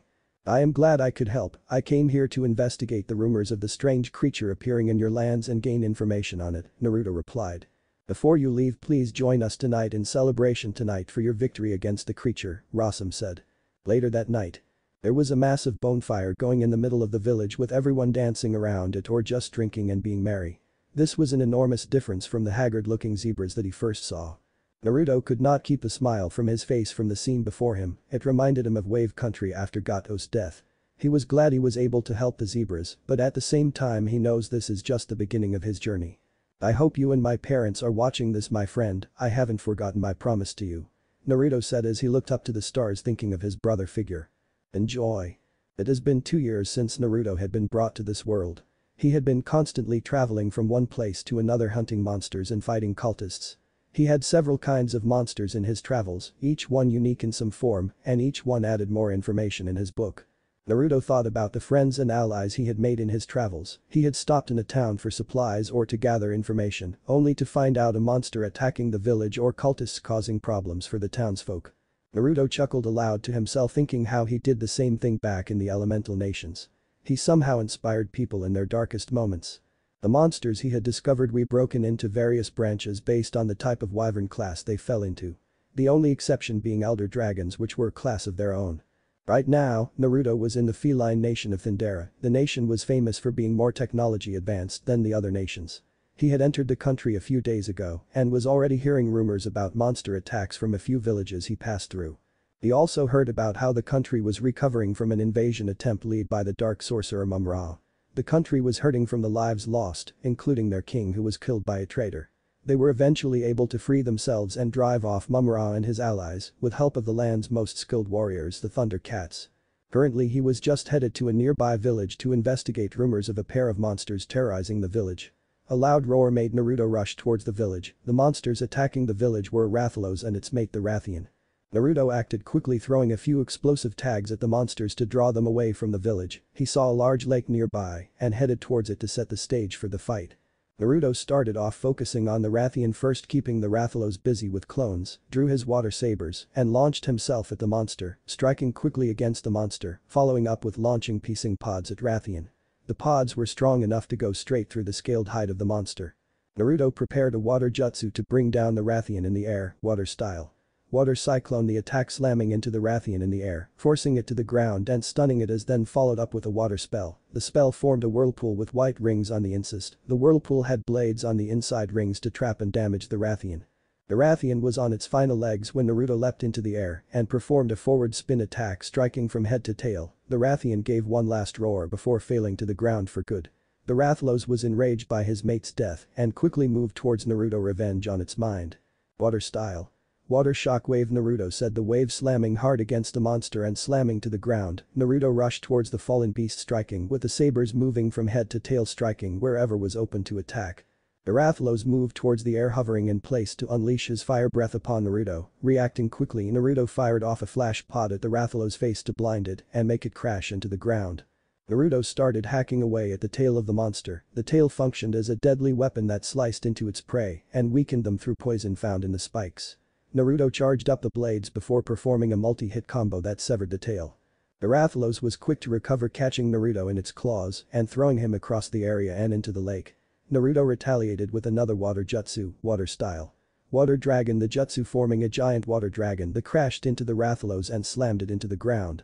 Wanting to finish the fight Naruto placed two large barrel bombs next to the stunned creature, then moved back to fire a bomb pod at the barrels. A loud explosion tore through the area, followed by the death cry of the Rathalos. Sealing both away for later Naruto headed towards the town to see if they needed help of any kind. As he got near the town entrance, he saw an older-looking feline dressed in simple clothes waiting for him. I'm guessing you are the mayor or leader of this village? Naruto asked. Yes, I am, on behalf of my village we can't thank you enough for defeating those two dragons. They have been terrorizing my village and its people for days now, ever since they first appeared, the village elder replied. Naruto rubbed the underside of his chin and thought I am glad I could help. Have you heard of any other monsters in the area? I am trying to gather as much information on them as possible so I can pass it along to others, Naruto said. The elder nodded his head in understanding and motioned Naruto to follow him. I have heard rumors from travelers and merchants about monsters being spotted in a few spots, I have a map in my home that will show you the locations of the monsters. Naruto nodded his head in understanding thank you, the more information I have the on monsters the better. Then I can focus on getting out to the public as fast as possible. Naruto thought about how each time he met a monster the more data he gained, it ranged from attack patterns, weaknesses, to where the monster makes its home. When Naruto entered the Elder's home, he noticed he had the map spread out and placed markers on what he thought to be the monster locations. I only know of two monsters still around in this area, the first one is in a molten lava cavern. The cats of have seen it described it a massive beast made of stone. The other one is in the desert canyon area it uses a powerful sound attacks to disorientate anyone who gets close to it. Naruto nodded his head in understanding, he then brought out an artifact from the vault in Uzu. The artifact was called the Whirlpool Slate, it is a multifunctional device. He was currently using it to scan the map so he could bring it up at any time on the device, this way he could check his location at will. The elder saw Naruto holding a strange rectangular device in his hand and asked Naruto what it was I am curious my boy, what is that strange device you are holding? Naruto quickly explained it was built by my family but put in storage when our land was attacked by invaders. Only now it's back in service, but I must figure out all of its functions on my own, since the instructions were damaged. Looking at the map the nearest monster was the one that used sound attacks, thankfully I have armor that should help block out the sound attacks, Naruto thought to himself. Before I go can you show me where I can pick up supplies and sell some unwanted thing? I try to stock up on supplies whenever I can, Naruto asked the village elder. Yes, I can we don't a vast choice of items since we are a small village. To see a better variety, you would have to travel to the capital they have the largest market in Thundera. After he finished stocking up on supplies and thanking the elder for the information, Naruto headed out to the first monster he would fighting against. The village gave him a happy send-off with everyone wishing him luck in his fights. Naruto moved at a brisk pace to get to the area where the first monster has made its home, he wants to get there quickly before anyone gets hurt or killed. Soon enough Naruto enough he reached the area known as Red Canyon, Naruto then took the time to get his armor and weapon ready for the battle. Naruto put on the Basil Helm Alpha, High Metal Mail Alpha, Basil Vambraces, they would block out the monster's sound attacks. He decided to wait on putting on any more armor and selecting a weapon until he knows what he is dealing with. Naruto then moved into the canyon area looking for tracks or marking that will lead the monster, he sees tracks from herbivores and smaller monsters, but not the ones he is trying to find. It was a few minutes later that he found the first set of tracks of the new monster, Naruto followed the tracks further into the canyon. Soon he had followed the tracks to a large clearing, the clearing had a small lake and a medium plateau, with a worn hill path going up the left side.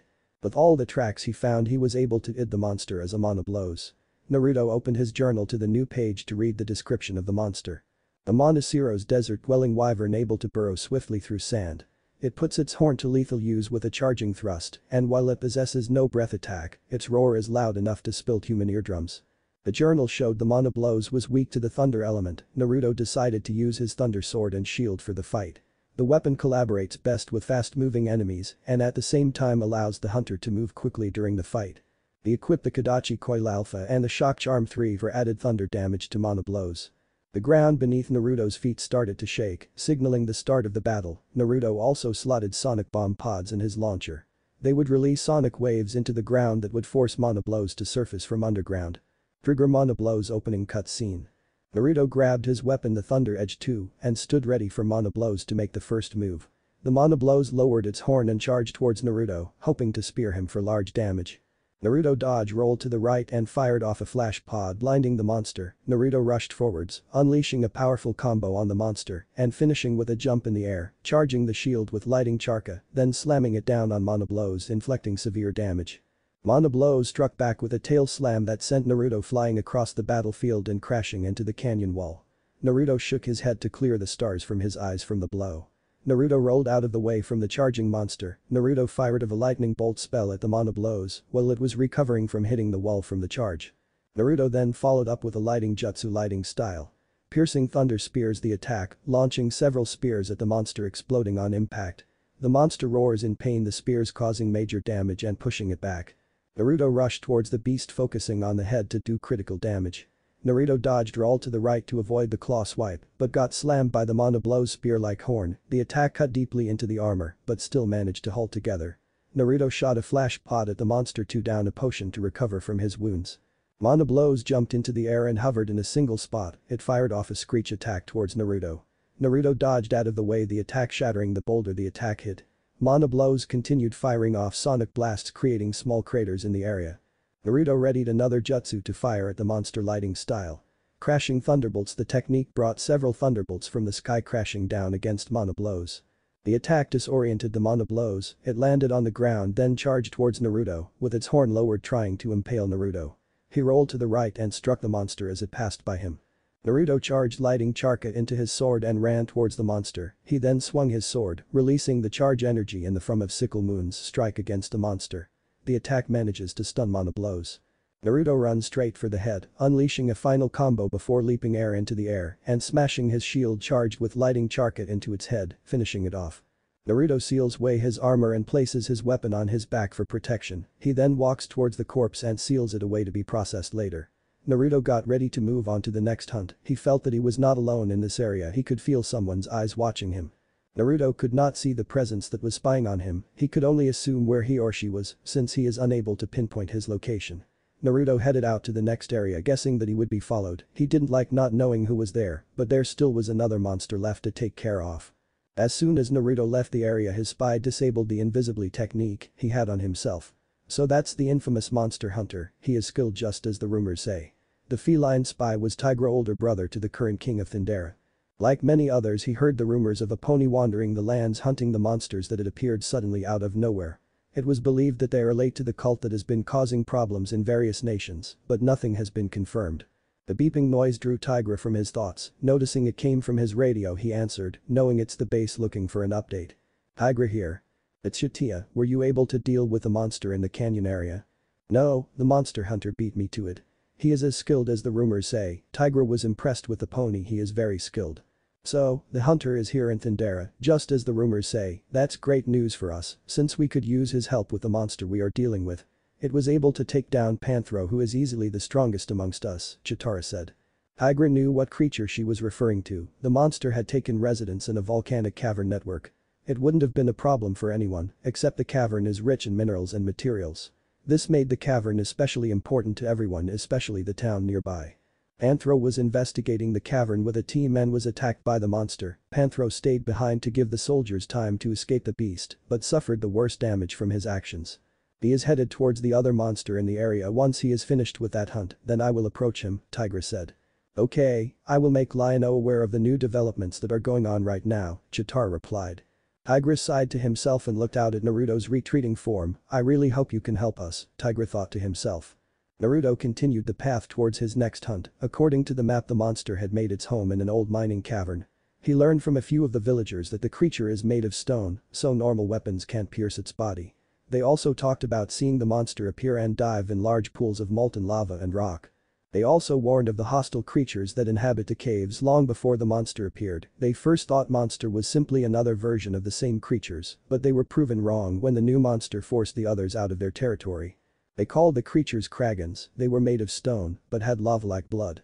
The feline miners who first met them found that out the hard way when they destroyed one of the smaller ones with a well-timed hit from a pickaxe.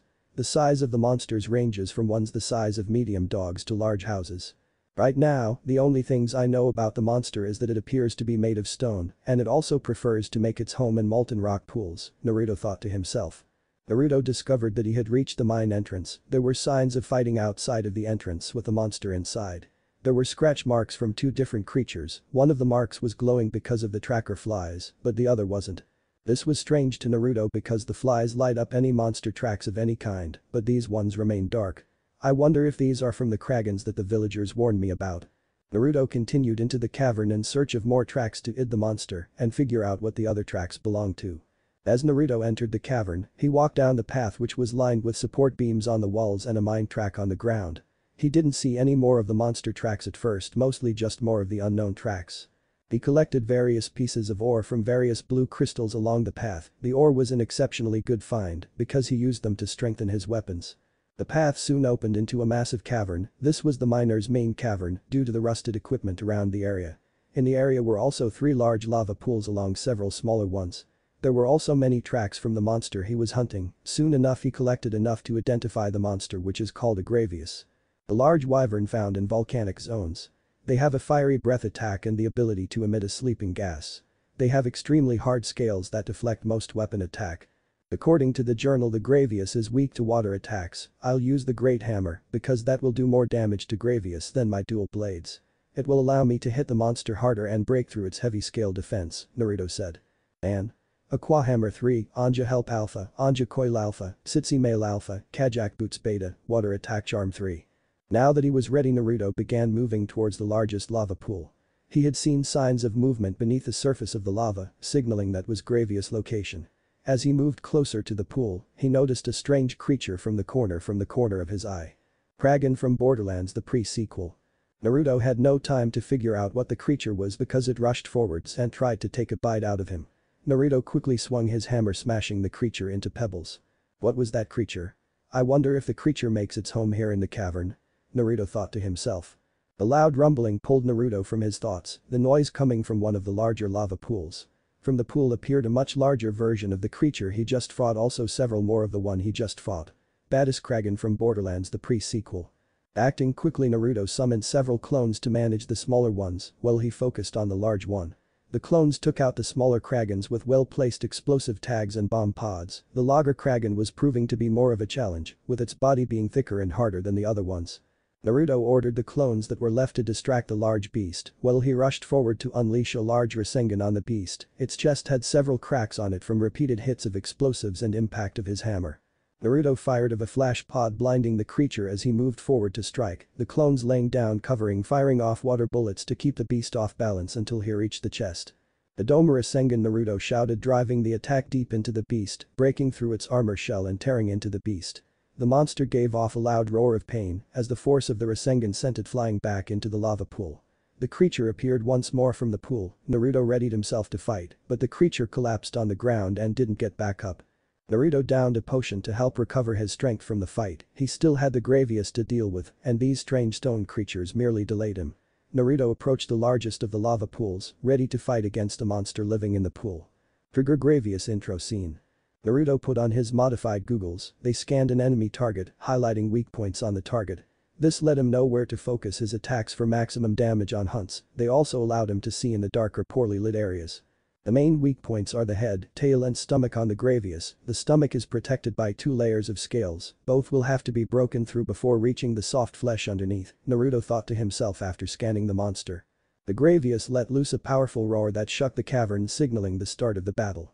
Naruto first fired a flash pod at the Gravios, blinding the creature allowing Naruto to rush forward and start hammering away at its legs. The monster responded with stomping its fight on the ground, Naruto constantly moving back and forth, switching from one leg to the other for maximum damage. The Gravios switched to a charge attack clipping Naruto and slamming into the wall, then hitting ground with a large thump. Naruto quickly got to his feet was forced to grapple up to the ceiling to avoid another charge attack from Gravios. Naruto seeing his chance struck back with a water jutsu. Water style. Water bullets Naruto cried the bullets cracking the beast's armored scales on impact. Naruto followed up by dropping a stalactite from the ceiling, making sure to hit the cracked scales on Gravios' back. The impact stunning the monster and knocking down on the ground. Naruto focused on Gravios' head for the largest amount of damage, Naruto unleashed mixed combo of light and heavy attacks. He followed up with more water bullets to further pile on the damage. The Gravios got up roaring in anger and pain, it sucked in air before unleashing a massive fire attack that swept over the area, moving from side to side across the room. The attack missed Naruto, but he got hit by the ending burst, he rolled on the ground to put out the embers. Naruto moved to cover to catch his breath and down a potion to help recover his strength from the battle. Naruto examined the monster seeing that the head was broken, he should focus on the other parts to keep up the damage. Naruto jumped back into the fight starting with the tail, he continued to focus on the tail and legs to further weaken the beast. The Gravios roared once more before retreating into the lava pool.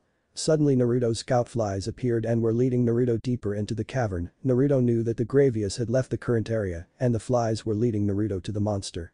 Naruto knew what the monster was doing, it was retreating to heal from the battle or flee the area. Naruto ran into the tunnels, the tracker files lighting the path to Gravios. He ended up finding Gravios in another large cavern, Gravios was curled up sleeping to recover its strength. This is also a hunter's best chance to do major damage to a monster because of its vulnerable state. Naruto placed two large barrel bombs near the Gravios' head and placed a handful of mines near the bombs to add to the damage. Naruto got behind cover and then launched a bomb pod to trigger the trap. The loud explosion was followed by a loud roar from Gravios, the battle was entering the final stage. Naruto focused on the legs and chest trying to stun the monster once more so he could finish it off. The chest was already damaged from earlier and the bomb trap broke through the remaining layer of hard scales protecting the soft underbelly. After the last combo to the monster's belly, the Gravios tucked its legs underneath its body and lowered itself fully to the ground. Naruto thought something was off, so he held back from charging the monster to see what it was up to. The Gravios soon followed up with releasing a strange gas from underneath its scales, Naruto knew from the journal entry that the monster also could release a sleep gas that when breathed in, puts the victim to sleep.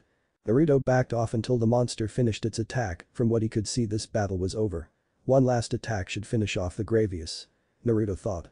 This attack is a variation of his father's Rasengan that he created, from what he read in his dad's notes his goal was to add his element to the Rasengan, but was never able to do so.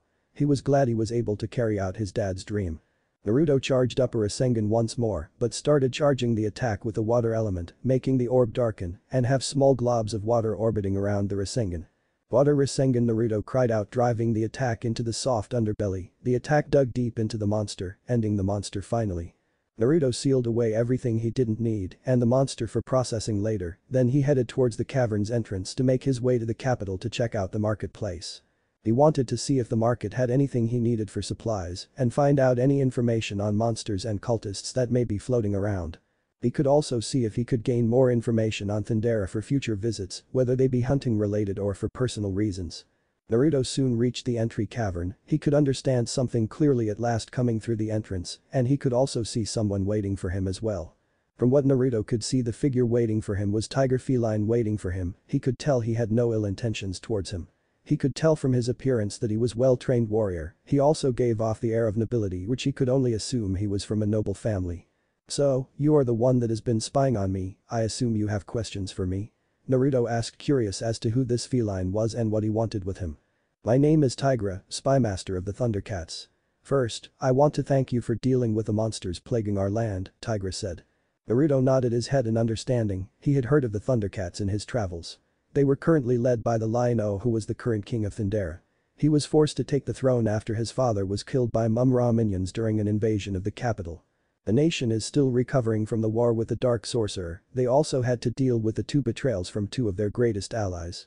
Two of their heroes had chosen to side with the Dark Sorcerer for assorted reasons, one for power and the other for revenge. My name is Naruto Uzumaki, how can I help you? I was sent to deal with the monsters causing problems, but you beat me to that. Rumors about your skill have spread here, I'm glad to see that you are as skilled as they say, Tygra replied. Naruto merely smiled at Tygra and rubbed the back of his head in embarrassment, sometimes it felt weird receiving praise from others instead of the hate he was used to. I am merely doing what I can to help out those in need, left unchecked these monsters could do untold damage to everyone and everything that they come across, Naruto said. He didn't want to imagine if any of the monsters were left unchecked the damage they could inflict on the world. He had seen the damage that a single elder dragon did to the zebra nation, he could only imagine what the ones he doesn't know about can or will do.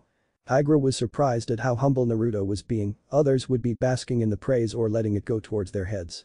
Tygra was pulled from his thoughts by his radio sounding off, it was Cheetara wanting an update on the situation. Tygra here, what do you need? Lion-O wants to talk with the hunter about hiring him for dealing with the monster in, have you made contact with him yet? Tygra turned towards Naruto knowing that he heard everything and asked him are you okay with that, the base isn't too far away from here. Naruto nodded his head sure, no problem. I rather not let a monster run loose if I can help it. Tygra smiled at Naruto glad that he was willing to help then responded to Cheetara yes I have, he is standing right next to me and has heard everything. We meet up at the base to discuss the details of the job. At the outpost. It didn't take the two of them long to reach the outpost, the two of them exchanging stories along the way. Naruto told Tygra about the monsters he has seen so far in his journey. As they approached the entrance the two of them noticed that there were noticed two cats standing outside the entrance of the outpost. One was a male with red hair and tan fur, he was wearing an outfit like Tygra. He also had a golden gauntlet on his right arm and a sword on his back. The female was a member of the cheetah species, she was wearing a tan top with a brown short-sleeved jacket with a pair of tan pants to top it off. Lion-O and Cheetara from Thundercats 2011. The lion was the first to approach Naruto, Naruto knew from Tygra's description that this was his younger brother Lion-O and the current king of Thundera.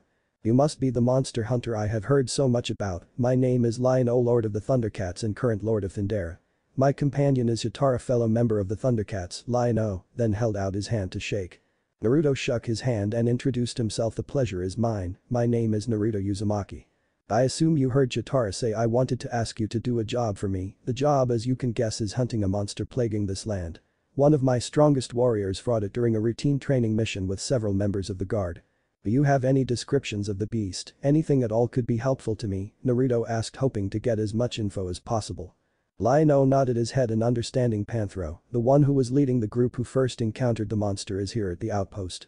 He took a beating from the monster, but that was because he tried to hold off the monster to let the guard escape. Naruto was impressed by the fact someone was able to hold their own against a monster, they shouldn't be taken lightly. Some of the monsters had some form of unique ability that makes that much more of a threat. The group entered the outpost and headed towards the room where Panthro was resting in.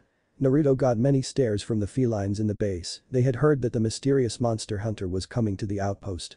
They were unsure what to make of the pony, they heard the rumors, but seeing him in the flesh was a different matter altogether. The group reached Panthro's room where he was resting, Lion-O knocked on the door, and the group went in. Panthro formed Thundercats 2011, Naruto could see that he was still recovering from his encounter with the unknown monster in the caverns. Panthro like the others had heard of the rumors of the monster hunter traveling the lands, he has heard all sorts of talk about strange creatures appearing in different countries or figures in strange cloaks causing trouble. So, you're the famous monster hunter that I have been hearing about, from what the others have told me you already took care of two of the monsters. The one that I fought against was stronger than those two, so it will not be an easy fight, Panthro said. Naruto nodded his head in understanding it depends on how much information I can get beforehand, the more info I have on a creature, the easier it is for me to put together a battle plan for the fight. Right now, I just need to know the location of the creature and any info on it, then I can start prepping for the fight. He could see that Naruto was a powerful warrior, he would have to wait and see if he was able to defeat the monster. Another thing he liked was the fact he wasn't arrogant, he dealt with many warriors that let their fame go to their heads, or they think they are better than everyone else. Panthro quickly explained what happened in the encounter with the beast, saying how the monster used only fire-based attacks and created a massive explosion that nearly ended his life. Naruto paid attention to the entire story taking notes at different spots, he was already starting to plan out how to approach this fight. Lion-O turned to Naruto I will have one of my guard bring us a map that way I can give you the location. Is there anything I can give you for the fight? The armory can give you any weapons or armor you will need. Lion-O asked. He didn't want Naruto too into the fight unprepared, especially since he was dealing with a dangerous monster in their land. He wanted to give Naruto any aid he could, since he was unable to help in the fight itself. Naruto held his chin and thought going over what he would need for the fight, he already had the weapon he would use for the fight. Next step was going over what armor he would use, finally he needed to set up his healing potions and slinger ammo for the fight. First thank you for the offer, I will take you up on it because I plan on making a few items that will help with the fight beforehand. I also need to make sure I have all the med supplies needed for the fight and have quick access to them during the fight, Naruto replied. The others were curious in what Naruto would be making for the fight, they were also impressed with the fact that Naruto was planning instead of rushing off. Lion-O was very curious about Naruto, he gave of the feeling of a seasoned veteran. Panthro had gotten the same feeling, he wondered if he was with a military branch at some point. He turned to Naruto Naruto if you don't mind me asking, but did you serve with any form of military, you act like a well-trained warrior or someone who was trained from an early age. Lion-O asked. Naruto understood Lion-O's curiosity he had been asked that before. I was part of my village's military before I was banished from it. Even before I joined, I was training at an early age. Why were you banished from your village, you are a very skilled warrior from what I have seen during your fight with the Monoblos and the Gravios. Tygra asked as he and the others were surprised to hear Naruto was banished from his village. He had watched Naruto's battle with the Monoblos, Naruto had dominated that entire fight, even when he fought against the Kraggons and the Gravios in the caverns. Tygra couldn't figure out why his village would want to get rid of him. The official reason for my banishment was because I used excessive force in preventing my teammate from going rouge and joining an enemy village. He was the last member of a clan in my village, they treated him like he was royalty, Naruto explained. So, you were banished because you roughed up a traitor too much. That is the dumbest thing I have ever heard, Lion-O exclaimed trying to wrap his head around the fact. Cheetara looked at Naruto with a curious expression on her face, I don't understand on what you meant, did you mean there was another reason to your banishment? Naruto nodded his head the first was the official reason, but it wasn't the real reason for my banishment. The real reason was there was a group of powerful warriors after me, rather than put themselves at risk they banished me to protect themselves. They figured that they wouldn't be attacked if I wasn't there. The others couldn't hide their shock at what Naruto just said, his own village threw him away just to save their own hides. Sorry Naruto, I didn't mean to reopen any old wounds, Cheetara said. Naruto merely waved her off. It's fine I knew from when I first encountered the group while I was away from the village on a mission, they attacked taking out one of the strongest fighters in the village. After that they tried to capture me but failed, I knew the village would put themselves before me. So, after your banishment you made you came to these lands to avoid the group that was after you? Panthro asked. Naruto shook his head at Panthro's question I'm afraid that is not the case, a short while after I was banished a strange group captured by a strange group. I never figured out why they were after me in the first place, though I had had a few ideas why. Can you describe the members of the group? We have been getting reports of strange cloaked figures causing disturbances across Thundera. We also believe that they may have a connection to the monsters appearing in the lands. Lion-O asked. Naruto shrugged his shoulders in response, they were wearing black cloaks I couldn't see any of their features that would identify a single member. The higher ranked members have fancy designs on theirs, but that's about it. I am using the shadows of Yharnam as the base design for the cultists, they are what I see in my mind when I think of cultists. That fits the description of the group that has been attacking villages and kidnapping citizens. We have no leads on kidnapped felines, but we know it wasn't for good reasons, Tygra said. Tygra turned to Naruto remembering something he wanted to ask Naruto speaking of the cultists, there has also been reports of another group collaborating with them, they were described as a close resemblance to the satyrs, but they have a full goat head and fur-covered torso. Have you heard of anything like this in your travels? The Goatmen from the Diablo game series. Naruto thought about what Tygra was describing, but nothing came to mind no, I am sorry, but I have never encountered anything like what you just described.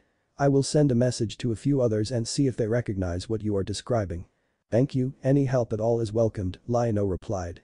If no one minds I should start prepping for the fight now, we seem to be getting really off track with all the talking, Naruto said while looking sheepish. The others noticed that they had been talking for a while, Lion-O had Tygra show Naruto the armory so he could start prepping for the fight.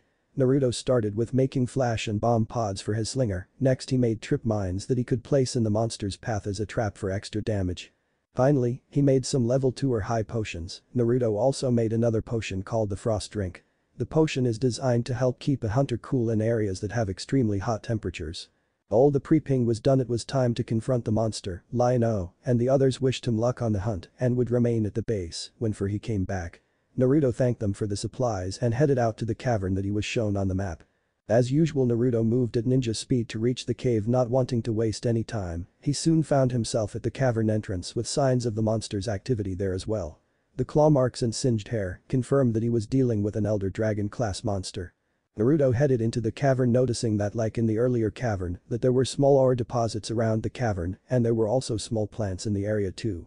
There were herbs that were used for healing and others that could be processed for ammo for the bowguns. The bowguns were another type of hunter weapon, they fell into the firearm category. The ammo for the guns was made from seeds collected from various plants and gunpowder. The gunpowder was made from plants and certain fish scales, it could be made into three levels of quality. Each level would create ammo in that level, level 1 was the basic ammo or standard type, level 2 allowed you to charge the shot, and level 3 was the highest ammo grade that a hunter could make. I will create a bunch of clones to collect the ore and plants that I need, as well as search the area for more tracks to id the monster, Naruto thought to himself. As Naruto went further into the cave the earth around him soon turned into crystal, he soon reached a massive cavern with a large crystal pillar stretching from the floor to the roof. The area also had a crystal formation that looked like a massive ramp. Naruto examined the crystal pillar he noticed at the base slightly buried in dirt was a skeleton of an unknown monster. This was a good find to Naruto because the bones of monsters are used in weapon and armor forging strengthen. Naruto continued to explore the caverns finding more claw marks that helped hid the monster he was hunting as a Teostra. Brutal elder dragons wreathed in flames that spin blazing fire. Teostra are of such a fierce and deadly nature that their movements are closely monitored. Naruto studied the entry on Teostra, it spoke about how aggressive the elder dragon can be and how territorial it can be. The monster's main weakness are water and dragon element weapons. But the monster named Naruto chose to suit up for the fight, he equipped his Black Axe IV for his weapon and Wormsbane Charm 3, Death Stench Grip Alpha, Death Stench Bowels Alpha, Anja Helm Alpha, Guild Boots Cross Alpha, and Kushala Cista Beta. Naruto headed into the lava cavern his clones had found a small tunnel that lead to another cavern and where Teostra currently was. Naruto loaded his sling with bomb pods to help bring down any loose stalactites on Teostra. He soon reached the end of the tunnel and entered the cavern that served as Teostra's den. The cavern was enormous with lava surrounding a large platform in the middle of the area. Teostra's in-game intro cutscene. Teostra let loose a powerful roar before rushing towards Naruto, reacted quickly dodging to the right and throwing several explosive tags on Teostra's side before detonating them. The blast threw Teostra of its balance and crashed into a wall. Naruto fired off several water bullets at Teostra, while it was dizzy from the impact of the wall, Teostra roared in anger from the damage at fired several fireballs at Naruto in revenge. Naruto countered with water style. Water wall the wall fizzling out Teostra's fireballs, Naruto moved in close and stuck hard with a switch axe. The axe hacked away at Teostra's scales with a multi-hit combo before Naruto changed it into the sword version and stabbed it deep into the beast's side. Naruto then hammered the trigger on the handle of the weapon, with each pull of the trigger, a pulse of energy was sent into the monster doing more damage with each pulse. After several blasts, the energy ran out and the weapon returned to its axe from, the more Naruto struck with the weapon, the faster the energy was built up. After the second round of pulse attacks finished Teostra had enough and roared once more before taking off into the air and moving to another area. Naruto didn't chase after the monster right away, instead he took the time to sharpen his blade and down a potion to help recover from the first round of the fight. Tracking Teostra wasn't hard, the monster had moved to the cavern with the crystal pillar, Naruto fired off two bomb pods at the ceiling to dislodge rocks to fall on Teostra, knocking it to the ground.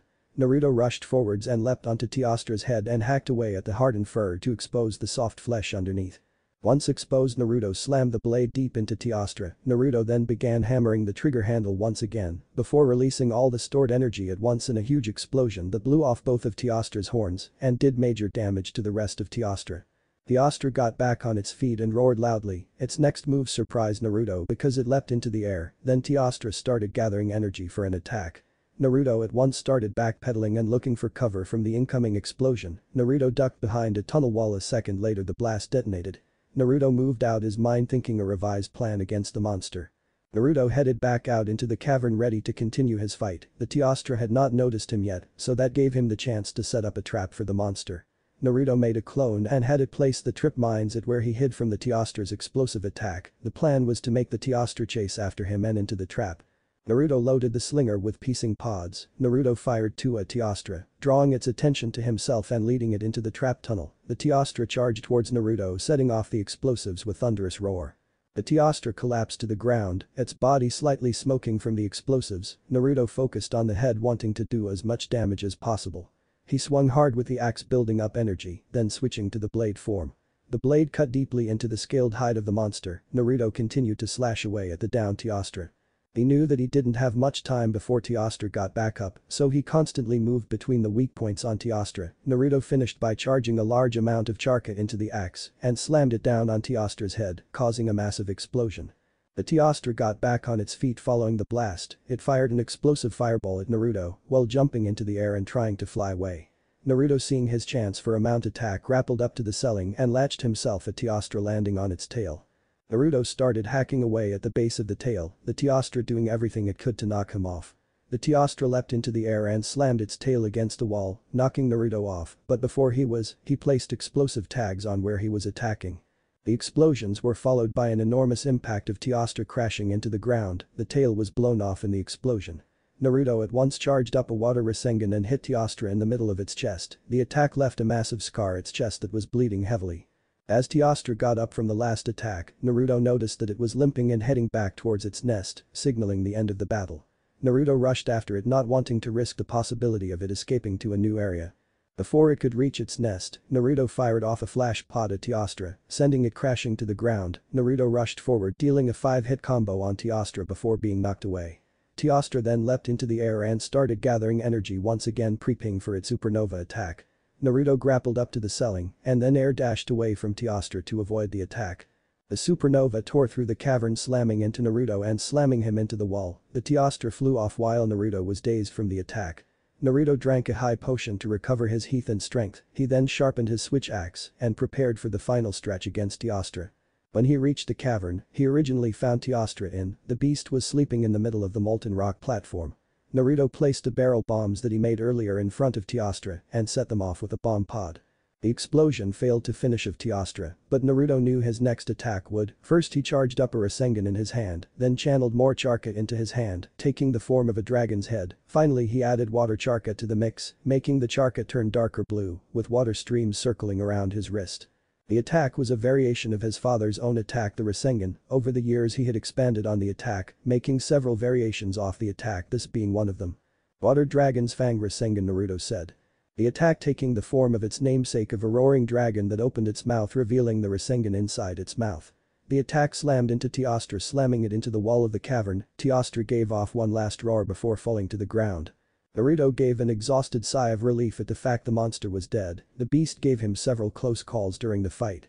It had nearly knocked him into the lava on a few occasions and hit him hard with its supernova attack blasting him away so it could flee. Naruto quickly sealed away the corpse and headed out of the cave eager to the others the good news. At the base with the Thundercats. It had been a few hours since Naruto had left to fight against the monster, Tygra and Cheetara were in Tygra's office overlooking paperwork that concerned the base. It was mostly a distraction for themselves to keep from worrying about Naruto. They knew that Naruto could take care of himself, but that didn't stop them from being concerned about his well-being. How do you think Naruto is doing against the monster? Cheetara asked as she turned to Tygra who was sitting behind his desk doing paperwork. Tygra looked up from his work, he could see that she was worried for him, he should be fine, he was able to take down the other two monsters without much difficulty. I trust in his skills that he will be fine, besides this isn't his first hunt, Tygra said. Before either could continue the conversation a knock on the door drew their attentions. Hum and Tygra said. It was one of the guards Lord Tygra Naruto has returned from the hunt, the beast has been killed. Tygra and Cheetara both looked at one another before rushing towards the entrance. They found Naruto and Lion-O already talking, they assumed that Naruto was debriefing him about the monster. Naruto saw them and waved them over to join in the conversation, as they got closer, they heard Lion-O asking about what Naruto's next move was. Do you have any idea on where you're headed to next, do you have any leads on new monsters? Lion-O asked. Naruto shake his head not sure right now, the main goal was gathering information to pass on to other nations, so they are well informed. I am thinking of headed to the capital to pick up more supplies and materials since the town I visited didn't have a vast choice of goods. The others were surprised at the fact that he was headed to the capital, Tygra, and Cheetara knew that Lion-O intended to invite him to the capital to exchange information with him. That is great, I wanted to ask you to come there anyways because I want to ask you for any information you have on the monsters you have encountered, as well as setting up a way to communicate with you in case we need your help in the future, Lion-O said. No problem, I already do that with Princess Celestia anytime I discover or encounter a new monster. I have a special journal that anytime I encounter a new monster, a new page is unlocked with that monster's information on it, Naruto replied. Lion-O and the others were surprised to hear Naruto had such a unique artifact in his possession. That would make fighting monsters easier with their information on hand, it would allow them to be better prepared for battles. Naruto would you mind if I looked at the journal? Lion-O asked. Naruto handed the journal over to Lion-O to look at, the journal broke down each monster into sections from the first page with the image and stats of the monster, the next page showed weak points and what weapon type worked best on what weak point and the last page was a breakdown on what types of material you got from the monster. Lion-O whistled in amazement at some of the monsters that Naruto has met so far in his journey. I am impressed you have fought some impressive monsters in your travels.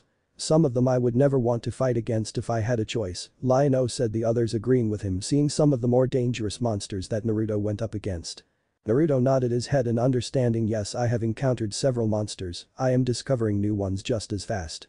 At the same time, I have found extraordinarily little on the group that brought me here or their current goals. As they were talking a guard came forward letting know that the transport Lion-O had requested was ready to take them to the capital. We better get going they are expecting us back at the capital, Lion-O said. The group headed towards the transport meeting up with Panthro, who was fully healed by Naruto before he left to fight against Yastra. Naruto noticed the strange vehicle that he assumed was their transport, he had seen similar ones in his travels in Thundera. It gave him a fright because he had never seen anything like it before. Tygra saw the puzzled look on Naruto's face and assumed that Naruto had never met a vehicle before. Naruto what you are looking at is the thunder tank, Panthro's pride and joy, Tygra said. Panthro shot Tygra a dirty look but didn't deny his words. Everyone climbed inside while Panthro took the driver's seat, Naruto noticed that Panthro smiled when he heard the tank start up. The ride was an enjoyable experience for Naruto, it reminded him of when he stretches his wings and flew. The ride ended when they reached the capital, Naruto noticed the air around the capital was peaceful, everyone walking around with smiles and talking happy with one another. Soon enough they took notice of them and started cheering and clapping for the heroes of Thundera. They smiled and waved to their citizens, they seem happy that you and the others are back, Naruto said to Lion-O in a teasing tone of voice. The group soon entered the palace the guards saluting them as they went in. They met with an elder lion inside, he was dressed in what Naruto believed to be formal robes. The lion bowed to Lion-O welcome back my king, have the monsters plaguing our land been taken care of? Who is this strange pony you have brought with you? The elder asked. Yes, Elder Skyfang the monsters are taken care of, my companion is Naruto Uzumaki, the monster hunter we have been hearing rumors about for so long. He also took the care of the monsters including the one that nearly killed Panthro, Lion-O replied while gesturing to Naruto. Skyfang was surprised to hear that his majesty had run into the infamous hunter while dealing with the monsters plaguing their lands. He could easily see that Naruto was far from your average pony, to him the feeling he gave off reminded him of Princess Celestia. Sky Fang turned to Naruto I must thank you then, when we heard what happened to Panthro we were worried about other villages coming under attack from the monsters. Naruto waved his hand think nothing of it, I was glad I was able to help out. I was able to gain information on the new monsters. Lion-O turned to Sky Fang I asked Naruto to stay with us so we can set up a communications network, that way if we need his help with monsters or exchange information with each other. If no one minds I'm going to head towards the market area to check out the wares and pick up any supplies I may need, Naruto said getting the others' attention. Cheetara walked up to Naruto I'll come with you to show you the way and make sure no one gives you a tough time. Naruto and Cheetara headed out to the market while Lion-O, Skyfang and Tygra made to Lion-O's office to discuss the best way to set up the network. Panthro headed towards the training field to work on the new guards. Marketplace. The marketplace was busy various felines walking around enjoying the open air of the market. There were a variety of vendors selling distinct items or advertising their wares. The wares ranged from fruits and vegetables to jewelry. As Naruto and Cheetara made their way through the market they attracted many stares from the populace, Naruto figured it was because he was a pony in their nation and Cheetara is one of their nation's heroes. Cheetara noticed that Naruto was checking out all the vendors had to offer, she wondered if there was anything she couldn't find. Naruto, is there anything in particular you are looking for? The top things are food for the road, some fabric and clothes since some of mine are getting too worn out and a few other items I may need, Naruto replied. I know where we can get everything so let's start with the food and go from there, Cheetara said. Naruto nodded his head and motioned to Cheetara to lead on, the two exploring all the market checking different stalls and vendors. As they moved about the market, they came across a vendor selling weapons, Cheetara brought up the question of weapons to Naruto Naruto I'm curious do you make your own weapons for hunting monsters? Naruto didn't answer at first because he was checking out the weapons for sale, he was comparing them to his own, seeing if there was anything he could add to his work. I make my own weapons, the ones I use when I am hunting monsters are made from my kills and various ores, that also includes the armor I wear during the hunt. I have different weapons that I use for personal use, defending myself from bandits and such. Cheetara thought for a moment would you mind showing some of your work to the others, they were curious about them if you are willing. I don't have a problem with that, maybe when we get back, I can show you some of the advanced weapons as well as the basic ones. I will also bring out a few of my personal weapons that I made before I started hunting monsters. Naruto soon had brought everything he needed for supplies, so he and Cheetara headed back to the castle. Naruto noticed that dusk was setting in meaning they had been shopping for longer than he thought.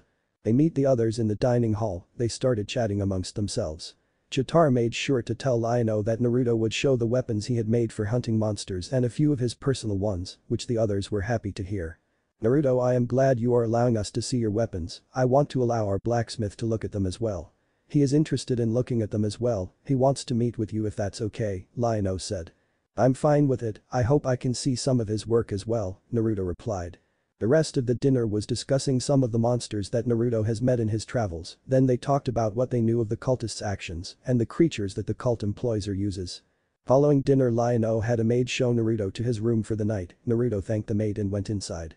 Naruto at once unsealed a few of Trunks holding his clothes and weapons, he then sat down at the desk in the room and looked over the maps he had planning out the next leg of his journey. With everything set up for tomorrow, Naruto decided to hit the hay, he would make sure to set up the contact with Lion-O before he headed out. The next day. Naruto got up and taken a shower, he had changed his look up with some clothes he had picked up. He was wearing black steel toe boots with spikes on the toe end for extra damage. The pants were loose-fitting and had a blue flame pattern with a white outline going down each pant leg. He had on a sleeveless armored shirt on, the armor was tightly woven in between layers of the fabric, on top of the shirt he wore a navy blue combat vest that had several pockets for assorted items and scrolls. He followed up with a dark burnt orange jacket, on the back was the red whirlpool insignia of his clan on his back, with a dragon forming from the end of the whirlpool. Naruto sealed up his stuff and headed down to breakfast meeting with the others. They liked Naruto's change of look and waved him over to join them for breakfast. You decided to change up change up your look, it looks good on you. Cheetara said. Thanks, my old outfit was starting to show signs of being worn out. We talked about yesterday about showing my weapons that I use for hunting monsters, do you still want to see them? Naruto asked.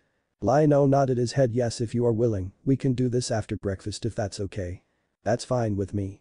Once breakfast was done the group headed towards the blacksmith's forge, the room was large enough to display the weapons and such. The group soon reached the room and knocked on the door, a gruff voice told them to come in. The blacksmith was a panther, he had various scars and burns from his work. The cat reminded him of Panthro in a way, but not as big as him. The blacksmith walked up to Naruto with curious eyes, so you're the hunter that the others told me about, I have been looking forward to seeing your work since I first heard about you. My name is Blazing Heart, Blaze for short. Naruto held out his hand my name is Naruto Uzumaki Ninja Monster Hunter and several other things. Blaze shake his hand nice to meet you do you have everything you need or do you need to grab the weapons from your room? Naruto shook his head and pulled out his weapon scroll, I have everything sealed away in this scroll, just need a sec to set them up. Naruto first set up the first level of the metal and bone level weapons, those being the first and most basic level of the weapon tiers. Then he pulled out a few of the weapon variations that he used has used in his hunts. These ones are the first level tiers of the weapons pointing towards the metal and bone weapons, the others are more advanced versions or higher tiers than the basic ones.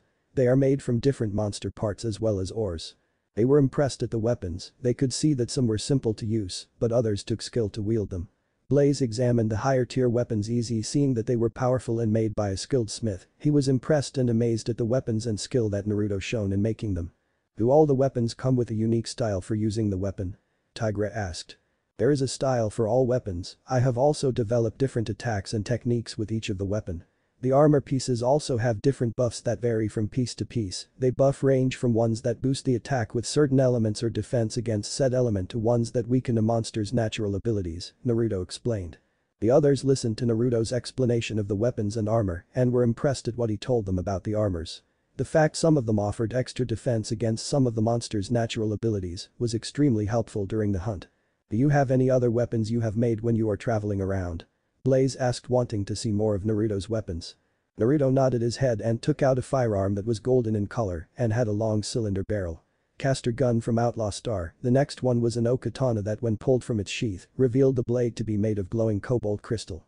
The final weapon seemed a bit strange it was a dual-bladed weapon, but the blade on one side was shorter than the other. The blades were strange as well the longer blade was made from strange metal, with what looked like a wave pattern on the blade. The smaller blade was made have the same metal, but the pattern was red on the blade instead of blue like on the other.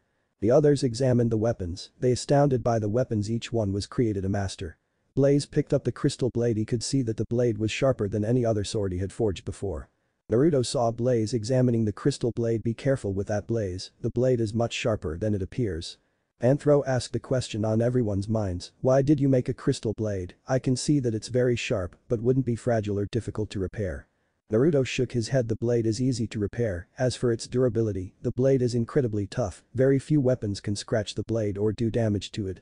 I like to call it Aoi which means blue princess in my language. The others nodded their heads since the name fit the blade perfectly. The other weapons were special and unique in their own way.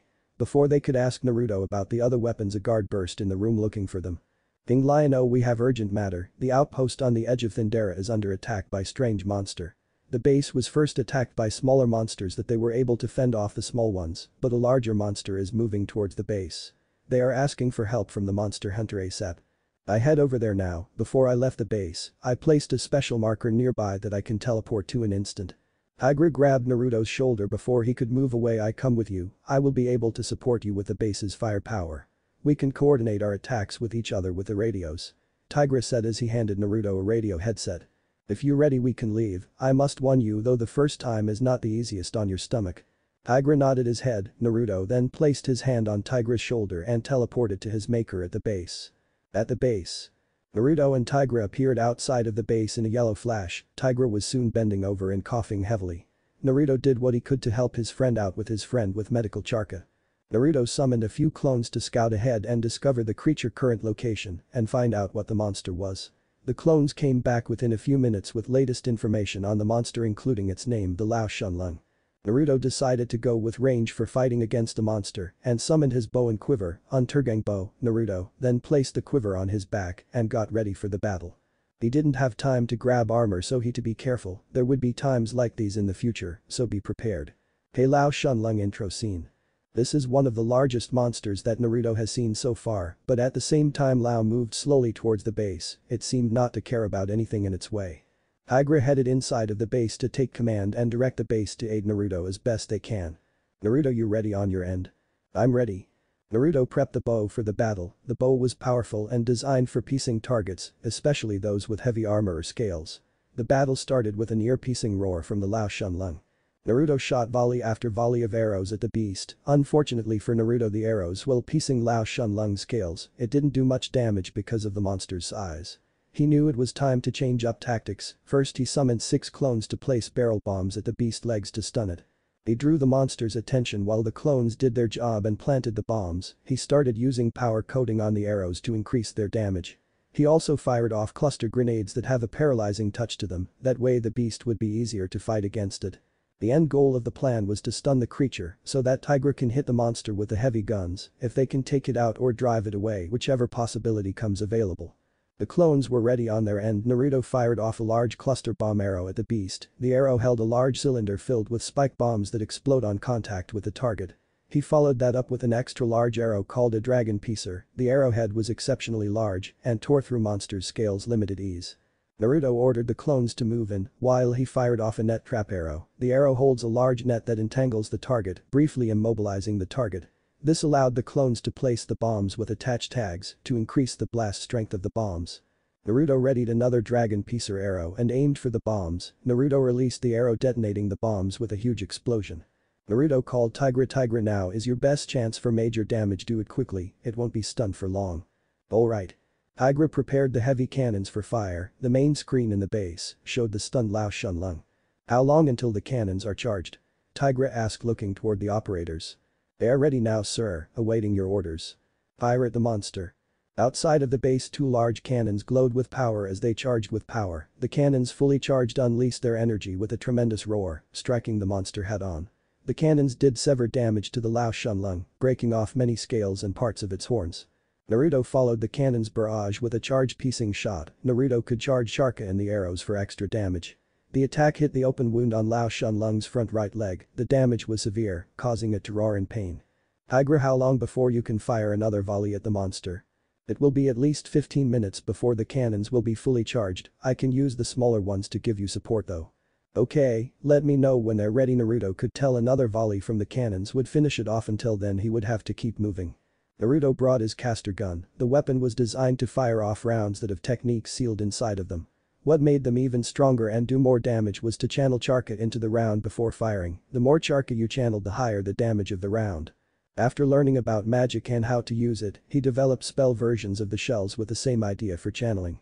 Naruto readied a heavy arrow shot, the shot was a spell that fired off multiple arrows that struck pierced a target and exploded. Naruto took aim and pulled the trigger the gears spun, and a light appeared from the barrel streaking towards Lao-Shan Lung, taking the form of a cluster of arrows striking against the monster. Naruto continued moving and striking the monster when the opportunity arose, doing what he could to kill time until the cannons were fully charged. Soon enough the cannons were once again charged up and Tygra ordered the final volley to finish off the beast. Inside the base the soldiers were cheering at the battle being over, Tygra was glad that no one was killed or injured during the attack, but at the same time something felt off to him. Tygra sir, there is a strange figure that appeared on top of the corpse of the beast. Tygra rushed towards the screen to confirm the soldier words, he too saw the figure noticing the figure fit the description of the cultists. He had a bad feeling why this cult member was here, he called Naruto to tell him what he saw. Naruto there is a figure matching the description of the cultist that you gave us, be careful he may be up to something. I see him be prepared we may have another fight on our hands. Naruto replied wondering the cultist was up to, he was getting a bad feeling from the person before he could make a move the cultist summoned a large sickly glowing green crystal. Naruto did not like the feel of the energy the crystal gave off, the energy felt twisted and corrupted. The cultist then slammed the crystal down in the center of the Lao-Shan Lung's head, the glow from the crystal seeped into the monster. The monster rose once more brought back to life by the crystal, crystal same as color as the original spawned across the monster. The monster gave off an ear-shattering roar as the battle was reignited, Naruto fired off a soul spear at the monster, the spell is designed to go straight through armor and hard scales, but cancels out upon impact with the monster. It's possible that the crystal may block magic from hitting the monster, like a nullification shield that cancels out magic spells. Naruto thought to himself. Tygra as soon as the cannons are charged unleash everything on the monster, the crystals block magic attacks, but the cannons should deal damage to the beasts. Naruto said he was already moving and firing arrows at the beast, thankfully the barrier only affected his magic attacks and nothing else.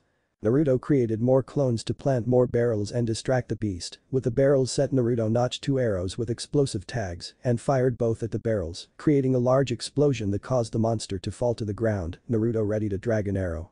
Naruto fired off jutsu taking advantage of the stunned monster, Earth style. Drilling fangs the attack was two large spearing spears from the ground, tearing through the belly of the Lao-Shan Lung. Naruto then fired off the dragon arrow, it tore through the monster, further weakening the beast. Naruto could easily see the beast was on its last legs, the crystal may have brought it back to life, but it was still damaged from before. Tygra called him letting Naruto now the cannons were ready to finish off the monster once again, the monster was brought down after the heavy shelling this time for good. Naruto didn't see the cultist, but he had a feeling this would be the last time that this happened. Tygra met him outside of the base happy that the monster was dead and that everyone was okay. You didn't happen to see where the cultist ran off to did you? Naruto shake his head no, but I don't that this is the last time this will happen more than likely a test run, maybe two if it would work or not. What concerns me is the energy I felt that I felt coming off the crystal, the energy felt wrong to me and has me concerned. The base was fine, and there was nothing else that needed Naruto and Tygra headed back to the capital to report in. Naruto used the same technique to bring them back, Naruto and Tygra explained everything to Lion-O and the others. They were surprised to hear about the cultists and the strange crystals, the transformation brought on by the crystal. Naruto gave Lion-O copies of the files on monsters, Naruto also gave him a necklace exactly to the one he gave Princess Celestia, except his was in the shape of a lion's head. I take it you are heading out to the next land already, I would ask you to stay longer, but it looks like you would refuse me. Lion-O said. It's for the best you never know whether or not a monster could be causing problems or the cultists. Naruto replied. Lion-O sighed but smiled at Naruto he knew that Naruto enjoyed traveling around and while being here was nice, he stood out amongst the felines. Lion-O and the others soon said their goodbyes and waved Naruto off wishing him luck on his journey. Naruto was away out from the capital when decided to stop for a snack, he noticed a presence nearby hiding themselves. He put out extra food feeling that's what the being was after. If you hungry I'm willing to share food with you, so feel free to come out I won't hurt you. Naruto said to ease the state of mind of whoever was hiding from him, from the bushes nearby, appeared a cat wearing leather armor. The cat reached his waist and strangely had the same fur coloring as Kurama. Thank you for the food mister, the cat said chowing down on the sandwich he gave him. No problem, do you have a name? Naruto asked. The cat frowned and looked down no I don't, I have been alone for as long as I can remember. Naruto frowned, the situation reminded him of Own, but he can do something about it. I can give you a name if you want, the color of your fur reminds me of a friend that I knew his name was Kurama. If you want that can be your name, he was my best friend. The cat was surprised at the fact this pony wanted to give him a name, especially the name of his former friend. You would really give me the name of your friend, no one has shown me such kindness before. Kurama replied tearing slightly because of the kindness shown by Naruto. Naruto placed his hand on Kurama's head rubbing slightly, getting a low purr from the cat. You remind me of him, and I know what it's like to be alone in the world without a friend. Naruto remembered the good times he shared with Kurama after he was able to crack the mask he put on following his father's death. He was the one who supported him the most, especially when he was at his lowest moment because of the Hiruzen's betrayal. Kurama looked at Naruto with happiness, but at the same time he wanted to ask him something, but was nervous about the question. Naruto noticed this and wondered what was bugging the feline. What's on your mind? I can tell you want to ask me something, I promise I will not do anything to harm you in any way, Naruto said, wanting to help his friend feel relaxed. Kurama looked nervously at Naruto afraid of the answer to the question he wants to ask Naruto, I want to ask to come with you when you leave, I have nothing here tie me down here. Naruto brought his hand to his face and thought, are you sure you want to come with me, I'm fine with it, but it will be dangerous around me because of my job. My job deals with hunting monsters that are appearing across the lands. Kurama was surprised to hear that Naruto is hunting the monsters that have been appearing across the lands. He had seen a few of them flying in the air and walking around, he made sure to stay away from them so he wouldn't become a snack for them. I still want to come with you, I know how to defend myself from different books and such that I have found and collected. I am willing to learn to help further my skills and watch your back, Kurama replied with firm tone of voice. Naruto smiled at Kurama, he could tell that he was being serious coming with as well as training to become stronger. Okay then, but I warn you now the training won't be easy. Kurama nodded his head in understanding, Naruto laughed at Kurama's brave response to the harsh training that was to come. Naruto stood up and dusted any crumbs and dirt off and motioned to his traveling partner we should get going then. But that Naruto headed off to the next destination along with his new partner the feline Palico Kurama, what new adventures awaited them. What if Naruto banished and wanted back and thanks for watching my video till the end.